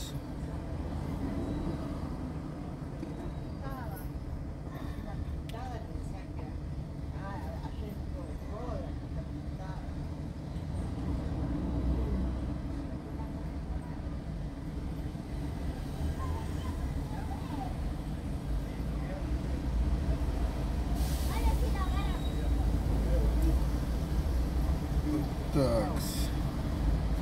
Даже все есть эти автодома, как говорят, мотохром, Аргентина, Пресио. Вот они, может, стоят дорого, а так трейлеры обычные, то нет. Они дорого не стоят. Да, 10 миль. Тут 10 миллионов, 13 миллионов, 16 миллионов. Но это вот уже такой дом-дом сейчас мы посмотрим другие. Мы посмотрим просто этот. Да блин, перещелкивается все.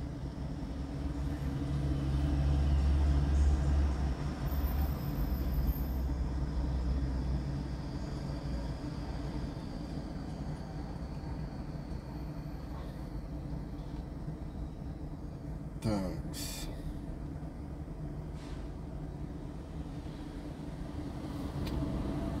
Так, где тут найти что-то такое? Вот мне сейчас трудно туда попасть, но в принципе, ну вот 600 тысяч есть. Меркадо Либре. Вот. Хороший трейлер такой, который тягается за машиной. Это не так уже дико, 600 тысяч. Просто у меня тут не очень хорошо картинку эту открывает. И вот из-за этого... Вот видите, вот тут трейлеры вот такие вот продаются, которые за машину цепляют для них такой. Вот 600 тысяч, ну может и миллион стоит, может какие-то и больше стоят, но Не скажу, что это прямо вот и уж невозможно его купить. Конечно, возможно. Все зависит от того, какой длины, насколько осей. Сколько мне говорил мужик, вот в этом отпуске мы были, один мне предлагал свой трейлер продать, э, который, ну, меня знает чувак, мужик уже. Он говорит, лодку уже продал, я уже типа старенький, мне уже таскаться с этой фигней не хочу и хочу трейлер продать. Он просил, сказал, что большущий какой-то, с холодильником, со всеми этими делами, со всеми экипированными там газовыми плитками и прочими делами. Он мне сказал, что миллион триста тысяч песо. Теперь посчитаем, что сегодня доллар стоит где-то 350 песо в 1 доллар. Поделите на доллары, да и скажете, сколько это выйдет. За миллион триста он мне в отпуске, вот две недели назад чувак предлагал свой трейлер купить.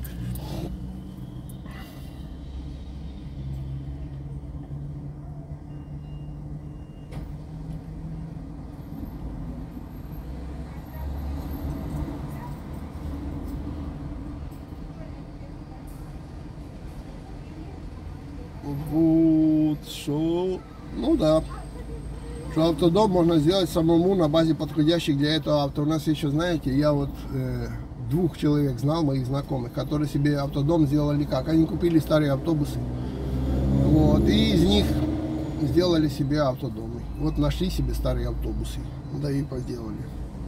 Здравствуйте, дядя Леня, приветик. Так, Валентине кошки есть или одни собак заводят? Нет, полно котов. Почему? Просто что собаками на улицах бродят, вы их видите, а котов дома держат. Изредка, изредка в парках гуляют котов. Конечно, полно котов тут. Что котов, что собак одинаково. То есть тут просто животных любят. Извините за нескромный вопрос. Вы имеете пассивный доход или зарабатываете в Буэнос-Айресе? Или ваш доход блогерство. Нет, я официально считаюсь и плачу налоги с деятельности, которая называется сервисио технико де компутацион, то есть я моноатрибутист, который занимается компьютерным сервисом. Так что если кто-то тут сидит и хочет поремонтироваться, у меня правда дорого, то пожалуйста поставим все на любом языке. Так что это связано с сетями, с серверами, с почтой, с со страницами интернета, с ремонтом, как говорят, это самого компьютеров, все вот эта деятельность. Этой деятельностью официально я занимаюсь уже лет 15 и плачу с этого налоги и все остальное. Так что основная моя деятельность считается такой. А уже всякие подработки тоже, да, существуют бесспорно. Но вот вам за нескромный вопрос простой ответ. То есть я считаюсь монотрибутистом и плачу налоги с компьютерной деятельности. Тык-тык-тык. Блогерство на русском языке доход никому не принесет. Так что, если хотите жить, идите ищите работу и займитесь делами. Потому что это блогерство, это для посидеть. Вот видите, мне не хреном сейчас заняться, я сижу, с моим языком болтаю. Но это не значит, что я с этого проживу. Если мне донаты кто-то пришлет, да, класс. А если нет, какой пень блогерство на русском языке, если там даже закрыто этот самый реклама не дается в России. А кому еще надо нафиг на русском языке блогерство из Аргентины? Мало людей таких. А те, кто там смотрят, так э, реклама же у вас не показывается, соответственно, мне с этого дохода вообще ноль. Никакого. Тем более, сами знаете, какое отношение там в любой момент вообще этот YouTube закроет, как Facebook, как Instagram и все остальное. Там сейчас в YouTube начнут говорить, что война войной называть, и сразу начнется, нет, это все, все предатели, все, блин, всех закрыть, всех запретить. Так что это блогерство для души, скажем так. На потрендеть, пообщаться, есть уже какой-то континент народу. Я к этому, во-первых, привык уже с 2014 года, как-никак, ну вот эти каналы. И посидеть, пообщаться с людьми, это одно. Уже есть свой континент, который смотрит долго, с которым мы больше обмениваемся как бол... всякими болталочками. Это больше для души. Еще изредка бывало раньше, сейчас уже с год никаких там донатов, ничего нет. Раньше были какие-то там донаты, посылки, там что-нибудь там, кто-то там раз понравилось, 5 евро послал. О, класс, блин. Сейчас нет. Я не скажу, что блогерство там, допустим, на других языках не имеет э, как бы дохода. Да, имеет. Те, кто постоянно этим занимается на других языках, они доход имеют. Понятное дело, там своя конкуренция, там все эти прибамбасы. Но бегание по Буэнос-Айресу, показывать улицы и думать, что ты на этом будешь жить, это фигня все. Это затравка до тех пор, пока не надоест. Потом придет время, деньги кончились, надо бежать работу искать. Это пока деньги есть, пока и надо что-то потыкать, показать, где я устроился, что да как. Так что, не, не. То вообще, да и у меня вообще блогерство такое, я больше рассказываю о своей жизни, а не о Буэнос-Айресе. Буэнос-Айрес, поскольку я в нем живу, да я и показываю, и рассказываю вокруг меня. Но, в принципе, если я еду на рыбалку, я рассказываю про рыбалку. Если я там еще что-то, мне нравится, там, не знаю, лазить в горах, я буду рассказывать про горы, а не про жизнь в Буэнос-Айресе. Так что у меня больше крутится вокруг, вокруг меня самого. Оставить, как говорят, своим внукам на память э, видео про дедушку. Как один говорит, счастливый человек ржет, когда надо и не надо. Но, наверное, думал, что я там обижусь от этого. А мне, в принципе, наплевать вообще. Когда хочу, тогда и ржу. Ой. Будешь серьезным, быстрее морщин зарабатываешь. Повырастают. Так. Линии, где вы клиента убрать? На Меркадо Либре? Нет, нет, нет, нет. Клиента убрать на Меркадо Либре нет. Какие клиенты на Меркадо Либре? Клиенты, во-первых, если ты деятельность ведешь давно, у тебя остаются уже столько клиентов. Это как вот у парикмахерской. Где парикмахерская берет клиентов? Разве она берет их на Меркадо Либре? Нет. Те уже, кто ходит в районе к ним, они их знают, они им звонят. Плюс у меня есть свои страницы вот, которые хорошо стоят вот, ну, как бы в, поисков, в поисковиках по запросу ремонт компьютеров и все. И мне вот, ну, прост, простой пример вчерашний день. Я был в одной фирме на работе, устанавливал им компьютер, который там все переставили, надо было потом документы перенести их, не подключить их не сети, этот компьютер. И звонит мне чувак, который хочет, чтобы я пришел домой, ему поставил Windows. Все такого стиля. Ну, в общем, я сказал, что я на дому это делать не буду. Хочешь, пускай приносит на пару дней оставит, я сделаю. А нет, я туда к нему сидеть у него дома и ставить ему Windows не буду. Ну, одним словом, поболтали, поболтали, не сошлись, он отключился. Э, часов 5 вечера звонит тот же чудак и начинает снова сначала рассуждать ту же самую историю и рассказывать, что ему надо то, то, то. Ну, я ему мягенько отказал, снова мы не сошлись. Через полчаса он звонит снова, потом, когда голос услышал, говорит, слушайте, я, наверное, вам звонил. Я говорю, ты мне, блин, уже утром звонил, ты уже мне днем звонил, ты мне уже, блин, час назад звонил. Э, так как ты не записываешь, на какие номера звонишь, а у меня страниц несколько. То есть 3-4 страницы всех на эту тему компьютерную, потому что у меня есть свои выделенные сервера, на которых стоят мои страницы и почты, и все, у меня все свое отдельное. Соответственно, я там их ставлю сколько хочу. И они позиционируются, и он смотрит, одна страница называется так, компьютерный сервис. Он раз туда звонит. Тут раз другая страница называется компьютерный, там, допустим, ремонт. Он раз туда звонит. Потом еще что там, ремонт ноутбука. Он раз туда звонит. А не обращать внимания, что телефон-то один и тот же. Как одна бабка также тоже звонила раза четыре нам, а потом рассердилась, говорит, да что вы, говорит, весь интернет оккупировали, блин, что я куда не позвоню, все время на тебя попадаю. Так что нет, не, не, нигде я в других местах не ищу. Есть, ну вот вам сказал сейчас, но приехавший, у кого там не будет русскоязычных программ, ну обращайтесь, поставлю. Вот. Подработаю, как говорят. Так что нет. У меня своя клиентура, которая с годами, которая уже ну, знает, я их знаю, они меня знают. У нас есть телефоны друг друга. У каждого компьютера такое дело. Вот сегодня он работает, завтра ты порнушку смотрел, хоба, вирусов наловился, он у тебя уже не работает. Соответственно, тебе надо уже вести к технику. Так что тут никогда не знаешь, когда он у тебя хлопнется. Тут все очень просто становится. Свои клиенты, все нормально.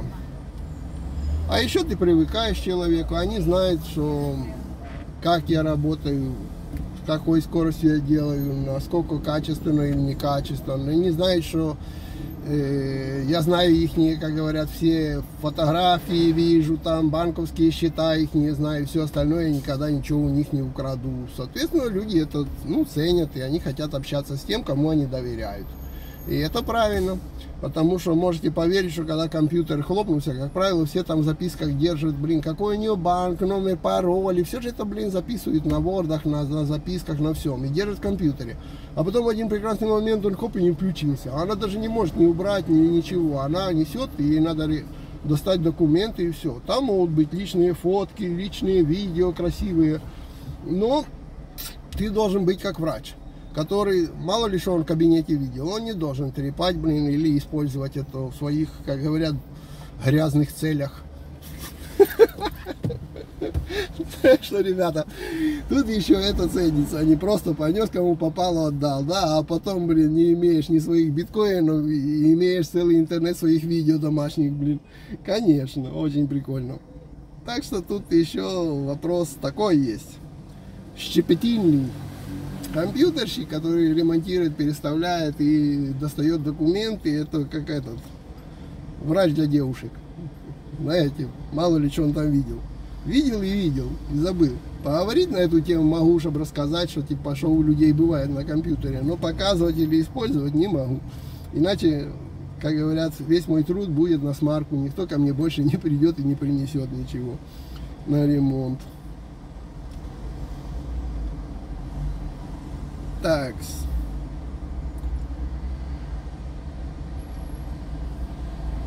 Спасибо. Не могли бы вы оставить ссылку, просто сказать название магазинов, тех, кто интересует цены на компьютере, наушники и так далее. Ясно, вы одни с собой вести или купить на месте. Меркадо Либре.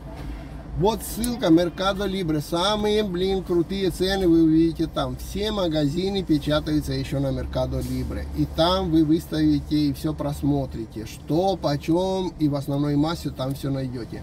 Не думайте, что вы что-то найдете в каком-то магазине, который в принципе не напечатано в Mercado Libre. Все это будет напечатано. Даже те, кто будут брать у оптовиков, они все равно туда все понапечатают. Многие оптовики сами туда печатают. То есть э, ну вот, чтобы просто цены сравнить, в основном Mercado Libre. Потом, может быть, вы где-то и найдете что-то дешевле. Идете mercadolibre.com.ar и там все смотрите. Набираете компьютера на испанском, переведите гуглем, что вас интересует, набираете в поиске. Не обязательно для того, чтобы посмотреть, есть оно или нет, быть там зарегистрированным. Можете просто посмотреть, как говорят, что там продается и почем. Так, при просмотре Леонида включаем VPN. Ну, спасибочки. Сколько стоит гектар земли в провинции, не знаю. Я землю не покупал, понятия не имею. Опять же, я думаю, что смотря какая провинция. Это как вот сколько стоит гектар земли в провинции в России. Наверное, на севере один стоит цена, а где-нибудь там, блин, в другом месте красивом другая цена. Так что тут то же самое.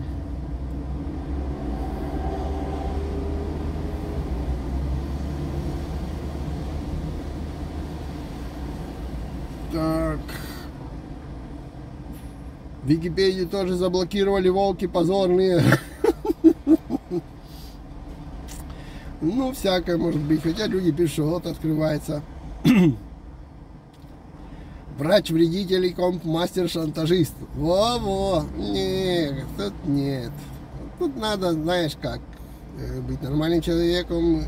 Как говорят, и будь попроще, и люди к тебе потянутся. Вот. Это вот на это.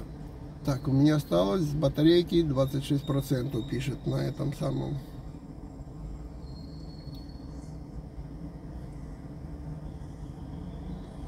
Так что, кто хочет, кстати, могу подсказать даже мой сайт, один из, один из. И там есть чат на WhatsApp, и кому какие вопросы компьютерные, можете прямо на сайте на, нажать на кнопочку WhatsApp, и мне придет ваше сообщение. Это называется dacros.com.ar. Сейчас я его напишу и вам покажу. Ну, это понятно для тех, кто тут сидит и типа как бы ему мало ли надо какие-то компьютерный сервис.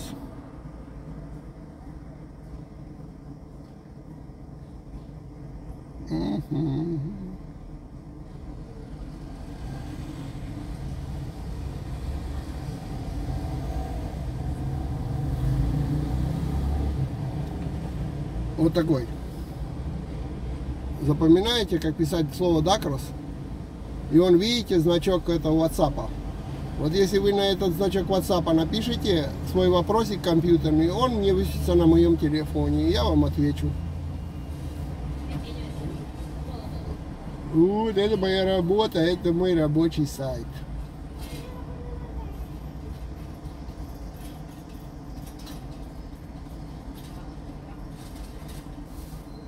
Все, сдал, блин, позиции, видите? Конечно, он у меня не единственный этот сайт, но это один из основных. Потому люди, как я и рассказывал, что бывает, попадаются, как говорят, что звонят с одного сайта, с другого, с третьего, потом начинают кричать, чего это ты весь интернет оккупировал? Вот. Это для тех, кто не читает по-испански, я думаю, на значок WhatsApp сможете и без знания испанского языка нажать. Можете там на русском мне написать, я умею читать. Так.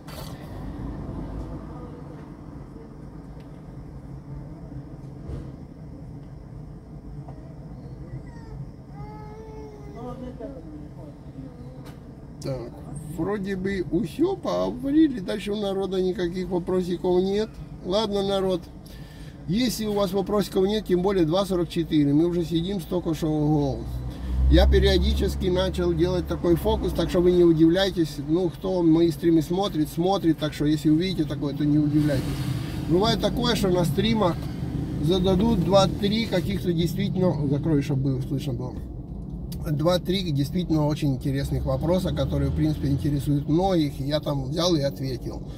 А я теперь начал делать так, что такие кусочки я типа вырежу со стрима и сделаю маленьким отдельным видео на 2-3 минутки, что типа такой вопрос и вот такой ответ. Это наподобие того, как сейчас я только что сказал, что я вернусь домой и выйдет видео про то, сколько содержать машину в Буэнос-Айресе. Потому что ну, на одном стриме мы уже обсуждали долго этот вопрос, я просто все вырезал и вставил, типа сколько содержать, сколько мне обходится содержать машину в Буэнос-Айресе.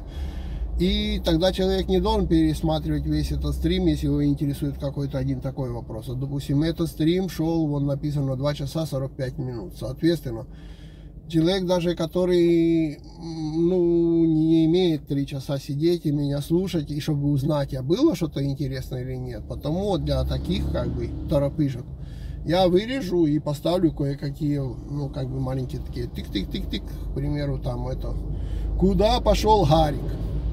Харик пошел. Раз-два, раз-два, раз-два, шагом марш. Вот типа такого. Так что все, народ.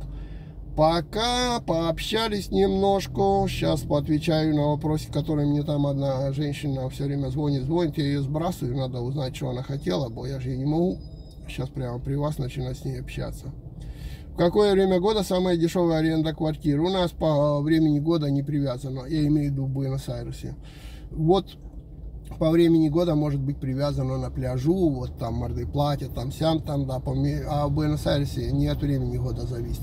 Сейчас, во-первых, плохие условия для квартиры датчиков, просто правительство их поставило плохие условия, и они предпочитают не сдавать. А те, кто решается сдавать, то берут дорого.